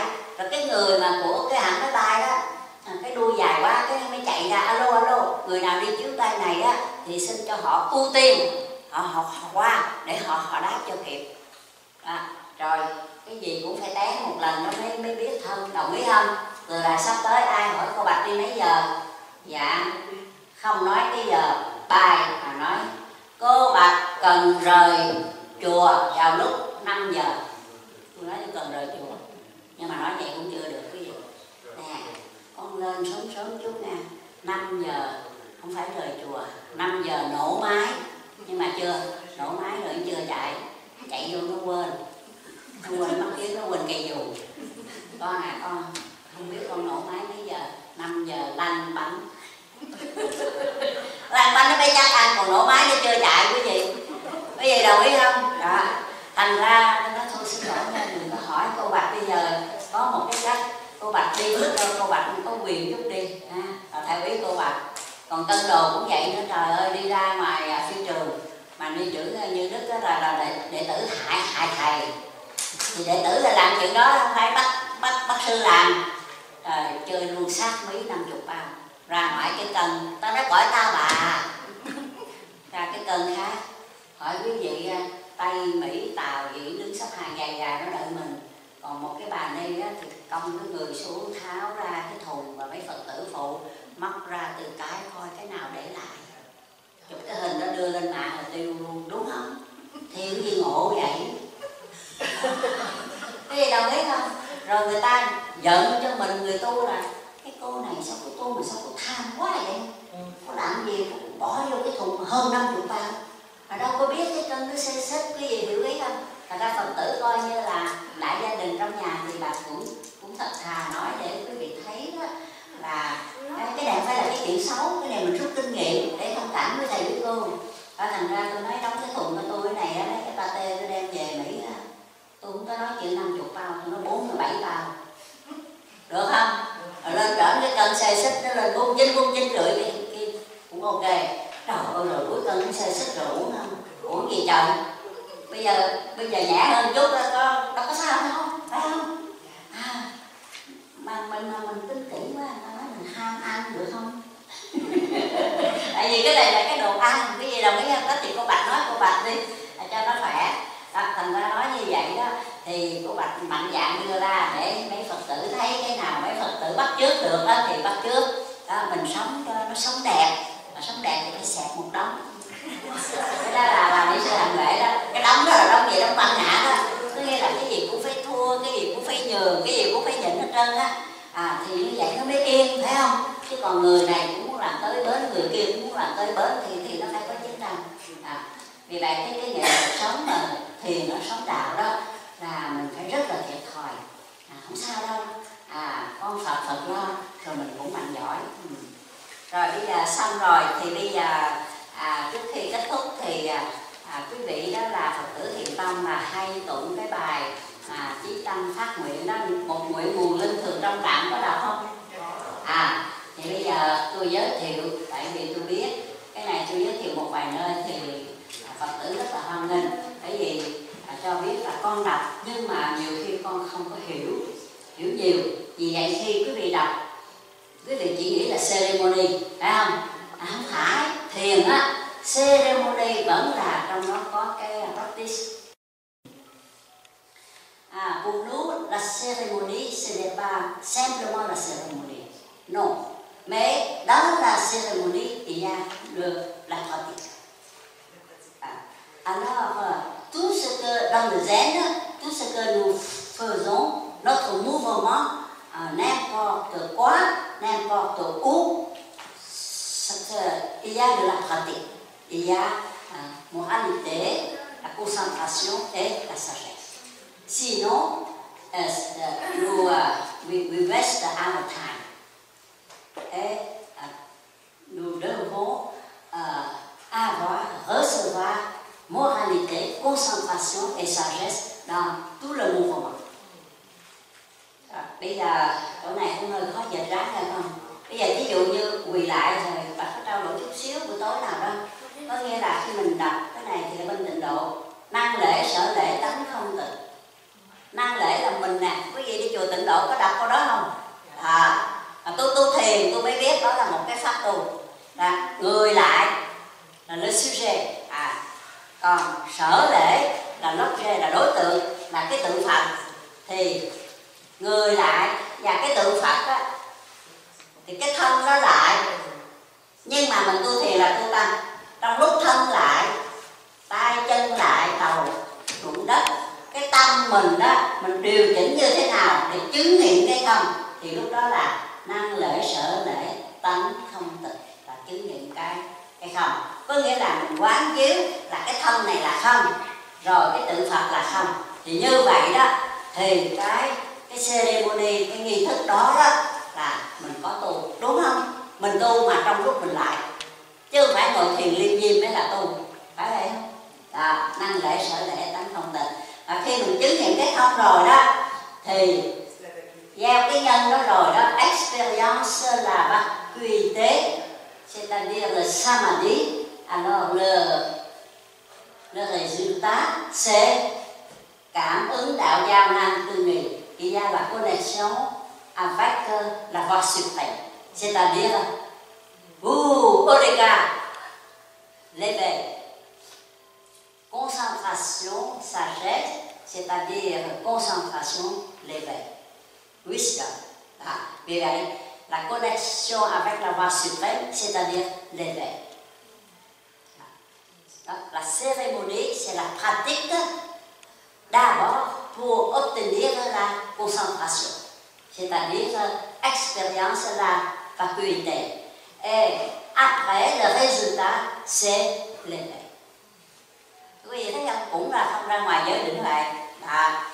rồi bây giờ cái cái cái ceremony, cái bài trí tâm phát nguyện nè, vẫn là là một pháp tu mà cuối đời cô bạch mới thấy. Cái hồi đó cô bạch cũng như quý phật tử thôi. Lại là cũng tập trung lại nhưng mà không có nhận ra đây là nó có cái giới định huệ trong đó. Đây. thứ nhất cái câu đầu. Một nguyện nguồn linh thường trong lặng. Quý vị có đọc không? Đó. thì cái này đó là introduction. Có nghĩa là cái nguồn linh, tức là phật tánh của mình đó, thì nó là thường là nó trong lặng. Chẳng qua nó bị vô minh che. Tại vì mình nổi sân, thì mình che cái nguồn linh chứ mình nổi sân á, cái sân là nó che cái nguồn linh cái nguồn linh nó vẫn là nguồn linh nó giống như cái đèn vậy đó. Hãy nói đèn nó phải sáng, đúng không? Nhưng mà vì á, mình tham sân si, nó giống như mình có cái chụp, mình che cái đèn. Thành ra, ủa, cái đèn ngộ ghê không? Sao cái nhà tối thui vậy? Dạ không phải. Cái đèn nó vẫn sáng, nó vẫn còn y nguyên ở đó. Nhưng mà gì? Nó có cái chụp che. Rồi bây giờ muốn đèn sáng thì sao? Tháo chuột tre, chứ không cần thắp đèn. Đã nói đèn thì không có thắp nhất là cẩn thận cái đèn tăm tại vì có có chỗ nói à, thắp sáng đèn tăm giờ ai cắt cớ hỏi dạ đồng ý. Thắp sáng đèn tăm mà thắp bằng cái gì, thầy? Sao trả lời? Bây giờ đặt tên cho khóa tu không phải dễ đâu nha. Bây giờ đồng ý không? Đó, khi mà nói cái chữ đèn á, thì nó ô tô mà automatic nó là sáng. Còn nếu nó không sáng gọi là đèn ủa, thưa cô, nếu mà có những cái đèn nó chết không sáng thì gọi gì? Gọi là cục thủy tinh. Chứ không phải đèn? Đúng không? Đó. Chị ở đây nhắc lại nè, nhớ nhớ xưa nay là tâm của mình, bản tâm phật tánh đó, nó là luôn luôn trong lặng. Trong lặng là nó có hai chữ này lặng đó là định, lặng lẽ, yên. Còn trong là sáng. Bây giờ đồng ý không? Trong là sáng cũng như cái thanh là tịnh đó trong lặng là thanh tịnh nè, tịnh đó là lặng đó là yên còn thanh đó là trong là sáng. Thanh là trong là sáng, đó là huệ, còn tịnh đó lặng yên đó là định. Cho nên trong chữ trong lặng đó là có định huệ. Có nghĩa là cái nguồn cội của mình đó, lúc nào cũng đã tròn đầy định huệ. Vì vậy nhắc lại để cho mình có cái cái tin tưởng, có cái niềm tin. Mà niềm tin này thì gọi là tín lực đó mới đầu là nói về cái tiếp phải không? Rồi. Hai nguyện tạng thức dứt lăng xăng rồi bây giờ mới vô tới pháp tu. Tạng thức có nghĩa là cái cái tám thức hồi nãy đó là mình tu như thế nào để cho tám cái thức đó nó chấm dứt cái lăng xăng thì sư ông nói biết vọng liền buông đúng không? Rồi. À, và đặc biệt đó, cái vị tổ pháp loa đó thì tu thoại đầu. Cho nên đó là một cái pháp tu cũng thuộc thiền đó là ba nguyện khối nghi đều tan nát. Có nghĩa là tu thoại đầu đó là đề khởi cái nghi tình. À rồi nuôi dưỡng cho nó lớn. Mà nó lớn quá, nó giống như cái bong bóng vậy đó. Cái là bùng, cái là nó nổ. Cái mà khi nó nổ, tan cái bong bóng, thì đó là chúng ta ngộ. Và tại sao mà phải có cái pháp tu này? Là bởi vì cái vọng tưởng á, là khi nó khởi lên mà sư ông nói biết vọng mình buông. Mình buông cái vọng tưởng á thì mình mới tâm nó không nó mới ngộ. Nhưng mà cái vọng tưởng á khởi lên nó, nó nhiều khi khó buông. Vì vậy ai mà buông không được thì tổ mới sáng chế một cái pháp tu mới. Có nghĩa là uống cái thuốc mà buông vọng tưởng không hết. Thì bây giờ uống cái thuốc là khối nghi liền tan nát phải không? Mình thay thay cái thuốc khác. Có nghĩa là mình tạo một cái nghi tình. Rồi để cho nó lớn mạnh. Mà khi cái nghi tình trong tâm mình thì không có vọng tưởng nào mà nó nó ló đầu ra được hết. Tại vì nó bị nghi tình nó nó nó che hết rồi đó à, vì vậy mà à, lấy cái khối nghi lấy cái nghi tình nghi tình mà khi nó lớn lên nó nó thành cái khối nghi. Đó. và khi làm như vậy đó thì à, cái vọng tưởng không có thể mà xen vô được. Cái này con con dịch được không? Hơi khó hả? Euh, je parle ici, euh, c'est la cérémonie, cérémonie để đi euh, vào. Vow. In English, vow. En français, promesse. Promesse. Vol. Oh. Vœu. Non, les dix bols. Chữ vow in English là gì? Oui. Chữ vow. Vow là lời nguyện á. Hả? Lời nguyện ra tiếng tiếng Pháp là gì? Salutation. C'est les vœux. Salutation. Les conditions. Oh, les vœux. Euh, conditions, le Non, condition. non, non, les Non, conditions. les conditions. Les vœux. Les vœux. Des vœux. V-O-E-U-X. Ah, les vœux, c'est... Les dix vœux. Oui, oui. C'est Ah. dix vœux. La première, c'est que notre, Oui. Les souhaits. notre source, notre source, c'est, c'est, c'est éternellement, euh, c'est, c'est clair, euh, c'est paisible. Tranquille, clair et tranquille. Et le deuxième, c'est que nos huit consciences, euh, nous pratiquons euh, tel que nos huit consciences euh, s'arrêtent. Et le troisième, c'est une autre méthode de pratique, c'est euh, c'est de, euh, le doute, c'est de créer un doute. Alors, nous créons un doute pour que les, les pensées vagabondes ne, ne- n'apparaissent pas. Oui.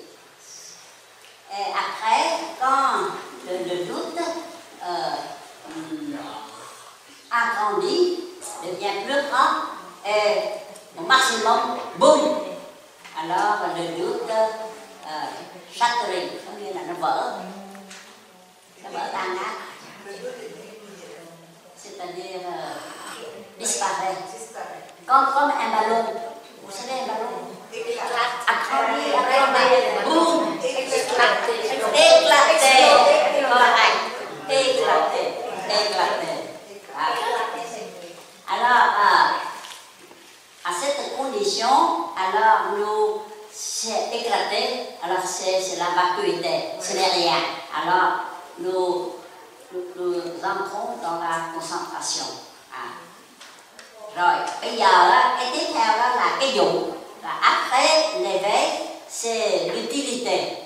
C'est-à-dire nous employons euh, les, euh, hum, les vertus de, de l'éveil pour, euh, euh, pour aider euh, tout le monde. Le monde. C'est-à-dire la vie après l'éveil. Utilité. Rồi qua cái dụng cái dụng này đó là năm nguyện pháp trần không khởi diệt có nghĩa là trừ cái tập khí Vous savez, à, ce n'est pas seulement aider euh, autrui, mais aider nous-mêmes. Parce que après l'éveil, mais ce n'est pas fini. Parce que nous avons encore notre habitude karmique. Đó là après l'éveil, nous, devons chasser les habitudes karmiques, les annuler.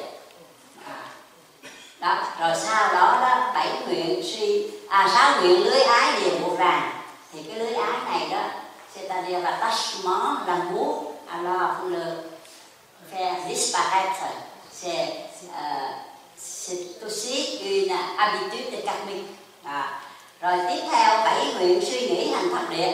Có nghĩa là sau cái cái cái kiến tánh này rồi đó vous savez le premier éveil c'est simplement c'est le premier c'est-à-dire euh, c'est- ce n'est pas la fin c'est-à-dire euh, euh, d'après les les dix euh, tableaux les dix euh, pictures euh, pictures ah, c'est seulement le quatrième à, le quatrième c'est le premier éveil là rồi tiếp theo đó, là mình phải tu cái suy nghĩ hành thập điện là mình phải tu của ta tạo ha.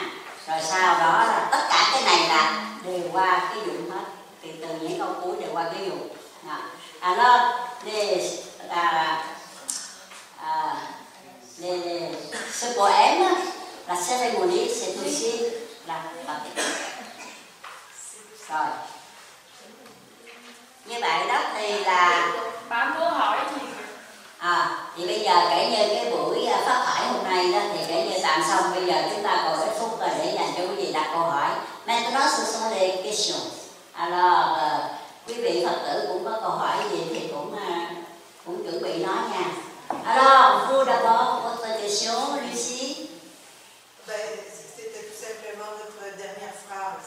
Après l'éveil ou pendant la cérémonie, c'est la pratique, c'est ça? Oui oui oui. Voilà. Ben, oui monsieur. Est-ce que, est-ce que euh, pour faire des jurys, il faut toujours pratiquer? Nói gì con nghe anh bỏ lại cái tay của cô xin cô ra đây, tê tê.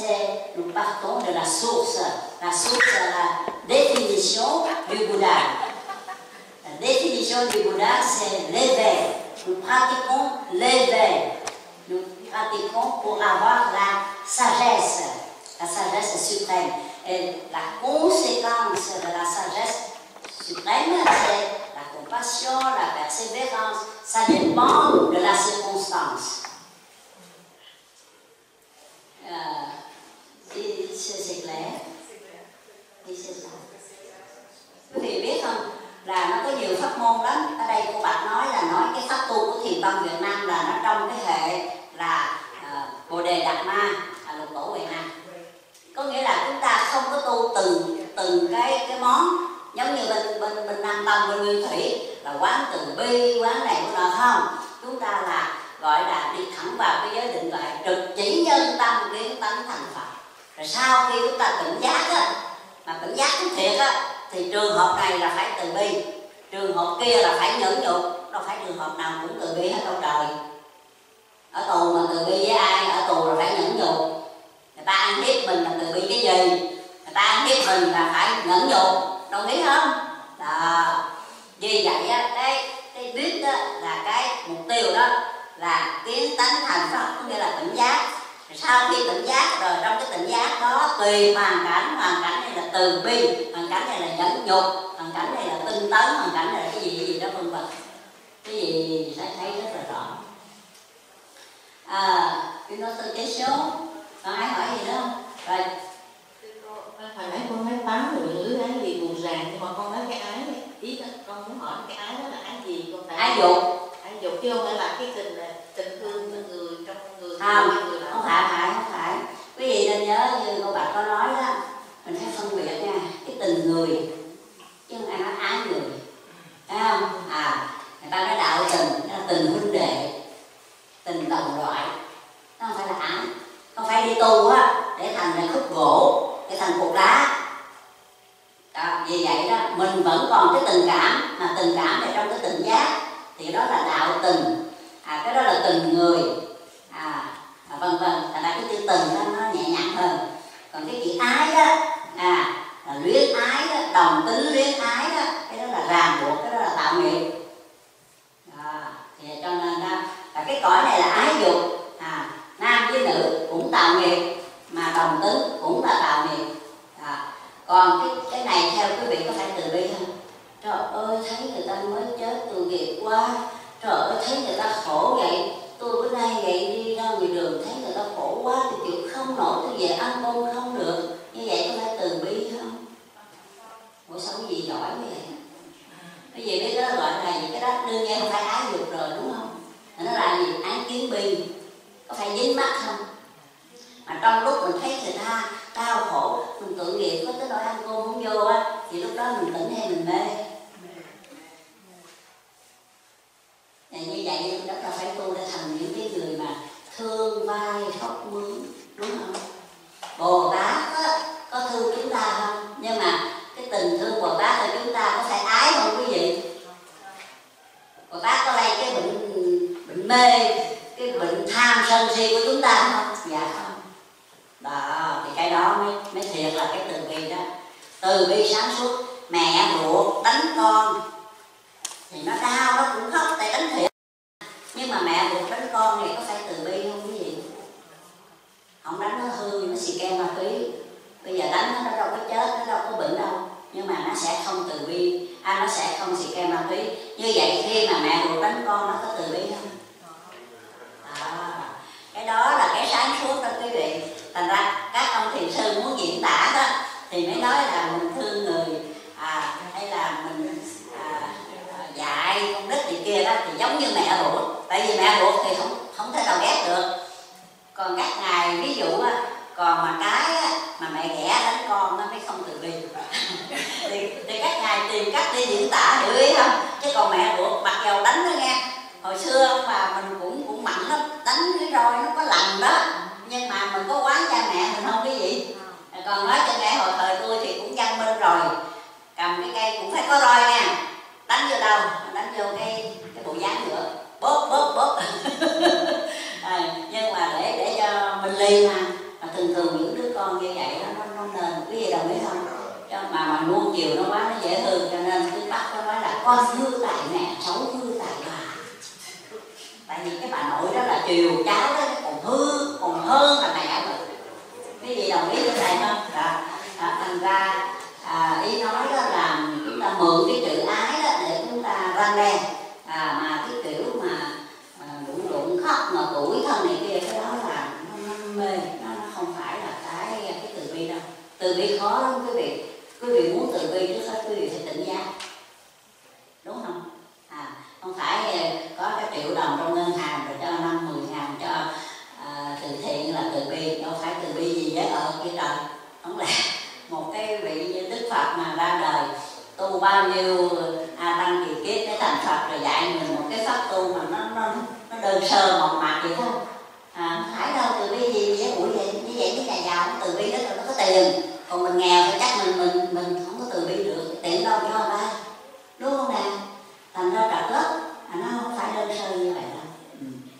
rồi còn có hỏi nào nữa không nếu không thì chúng ta hồi hướng ha dạ mô phật Dạ mô Phật, con thì không có câu hỏi à, nhưng mà con à, có cái à, cái bài viết của ni sư à, để con in ra về chánh niệm hearing meditation đó. Dạ. Thì con có 11 copy đây tại vì cái máy in nó chậm và mực nó gần hết cho nên con không có in ra cho mọi người hết được. Tuy nhiên có một số người thì rất là thích đọc và một số người thì cũng có có đọc đó. Ừ. cho nên con để ngoài cửa ai mà có muốn muốn đọc nó có hai chục trang thì mọi người cứ lấy ha? Dạ. dạ con cảm ơn mọi người vô à nhưng mà xin xin giữ một cái bản trắng bởi vì à, đến chừng mình đi Ottawa mình lên tiếp để cho hai đạo tràng ở à, Mississauga với lại ở à, Tệ Liên đó. Tại vì mình tới mình không có ở lâu được như ở đây. Dạ. dạ. mình có thì giờ mình mà không biết người ta có máy móc để cho mình mình xài không? Dạ được. Dạ. À, một bản trắng mình chỉ giữ một cái original thôi.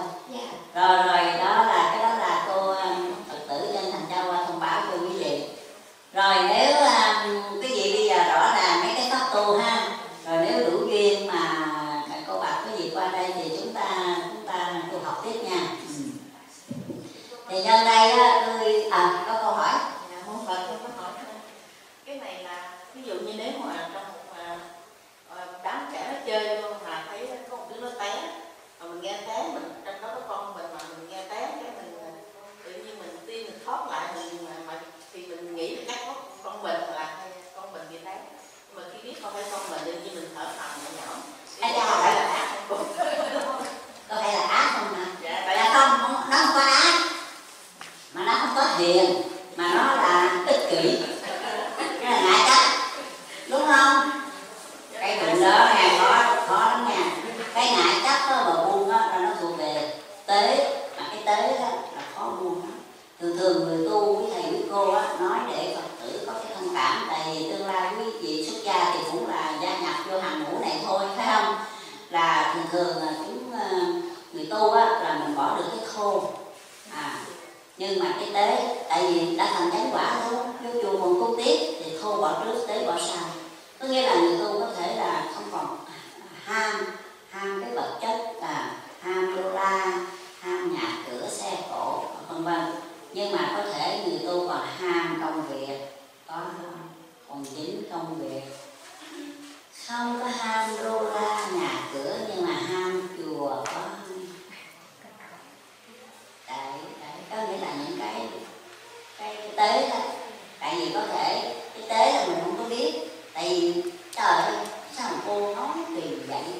Ừ, chùa chết đâu đem theo. À, con đâu có phải à, con cũng ở có một chỗ không nhưng mà quý vị biết đó, nói thì thấy nó giống như ham chùa to phật tử đông. Nhưng mà thiệt ra cái gốc không phải cái chùa to phật tử đông. Cái gốc là cái ngã ham danh trời ơi tôi mấy chục năm rồi chùa cũng không có trụ trì cũng không đệ tử cũng không. Cái người ta nói mình tu dở không mặc cảm đã ra đó, đến là chỗ đó. Cái gì đồng ý không? Đó vì vậy đó là à, nói thật đó như cái chuyện tôi kể hôm qua đó, thấy ông lên tới trụ trì mà có kiến tạo đó. Còn có những người không phải trụ trì mà kiến tạo. À còn có những người là trụ trì mà không kiến tạo. Đó, thành ra cái đó thì theo hạ lạc mình vẫn tôn trọng nhưng mà thiệt tình mà nói đó thì mình cũng phải thông cảm tại vì à, cái duyên cái nghiệp à, là người ta làm trụ trì nó cũng cực lắm quý vị à cũng phải gánh vác cũng phải là à, cũng phải đỡ đạn đó nha.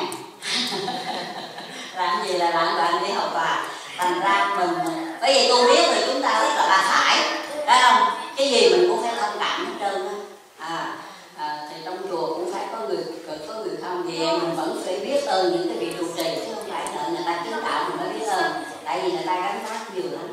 Giống như cô bạch bây giờ là chỉ ở thăm mà đi giảng về kinh đường sách, thì phải nhớ ơn từ cái cái cô tri khố, cái cô trì nhận hành đường là khổ lo cái công đức cho mình à, mà nhớ ơn đền ơn là chỉ có mình tu thôi Ừ. đó, thì cái đó là cái, cái ngại chắc đó thôi à, mà mà cái này không phải là con muốn mà, mà buông là buông được đâu ai ai lại bệnh không muốn mà hết. Bệnh dạ cô muốn hết bệnh à, dạ, thì cứ muốn ra muốn cái miệng đi mà hết không?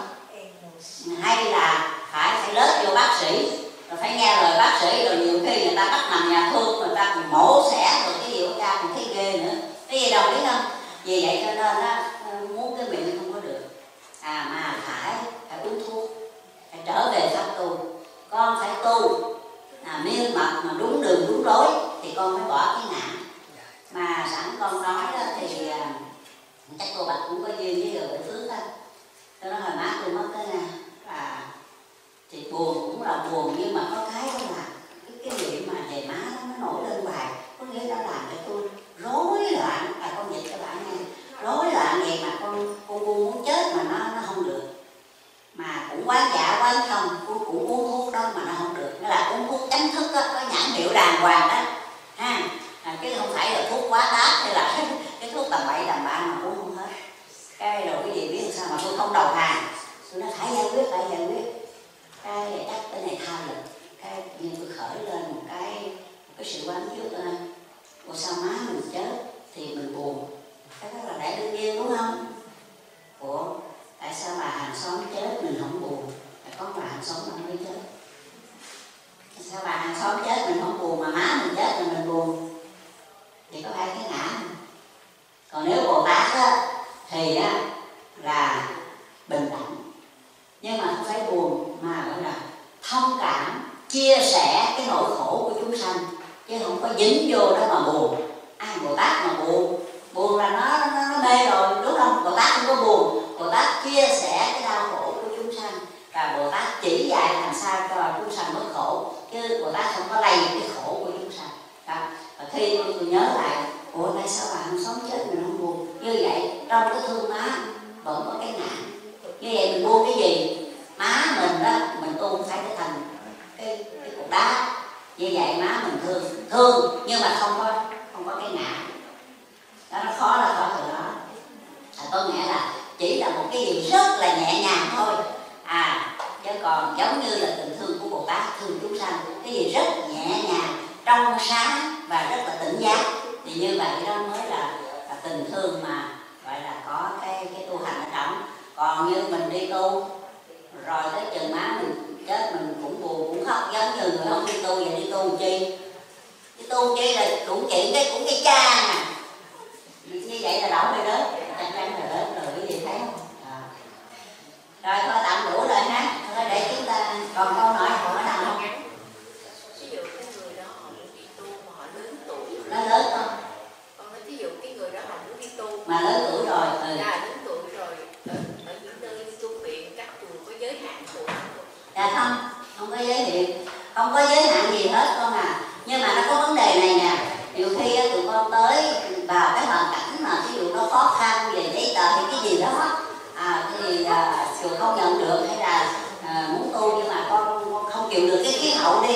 À, thì cái đó mình nên quán chiếu đó là cái mình cái nghiệp của mình nó khiến nó làm mình mình tu mình không được. Thí dụ như vậy chứ còn đấy là cửa chùa rộng mở. À, nhưng mà đương nhiên mình biết đó, cái gì làm nó cũng phải có đầu có đuôi. À thì bây giờ mình đừng có đợi tới cái lúc cần đó, mình mình mới tới. Bây giờ mình cứ làm tròn bổn phận cho phật tử tại gia. À mình cũng tới để có có tu mình tới tu mình có gì. Thì đương nhiên mình gieo cái nhân vậy đến chừng mình tu thiểu thì đương nhiên nó phải hành thông đúng không? Còn cái này mình đợi tới lúc tới chỗ mình nhảy rồi nhiều khi cái cái cái nhân mà mình tích lũy đó con nó không có đủ mạnh. À ra cái quả nó nó hèo vậy đồng ý đây. Rồi thôi để chúng ta hỏi thử ủa còn câu nữa không sao còn chờ cô con thì con có đi nghe giảng pháp. Thành ra con không có hiểu con thỉnh thoảng là lần này là con gặp sư cô là lần thứ ừ. Thành ra mấy cái lần trước con có đi con con muốn hỏi là ờ, ví dụ như mình ở nhà mình ờ, thì ờ, ăn chay Ừ. rồi á,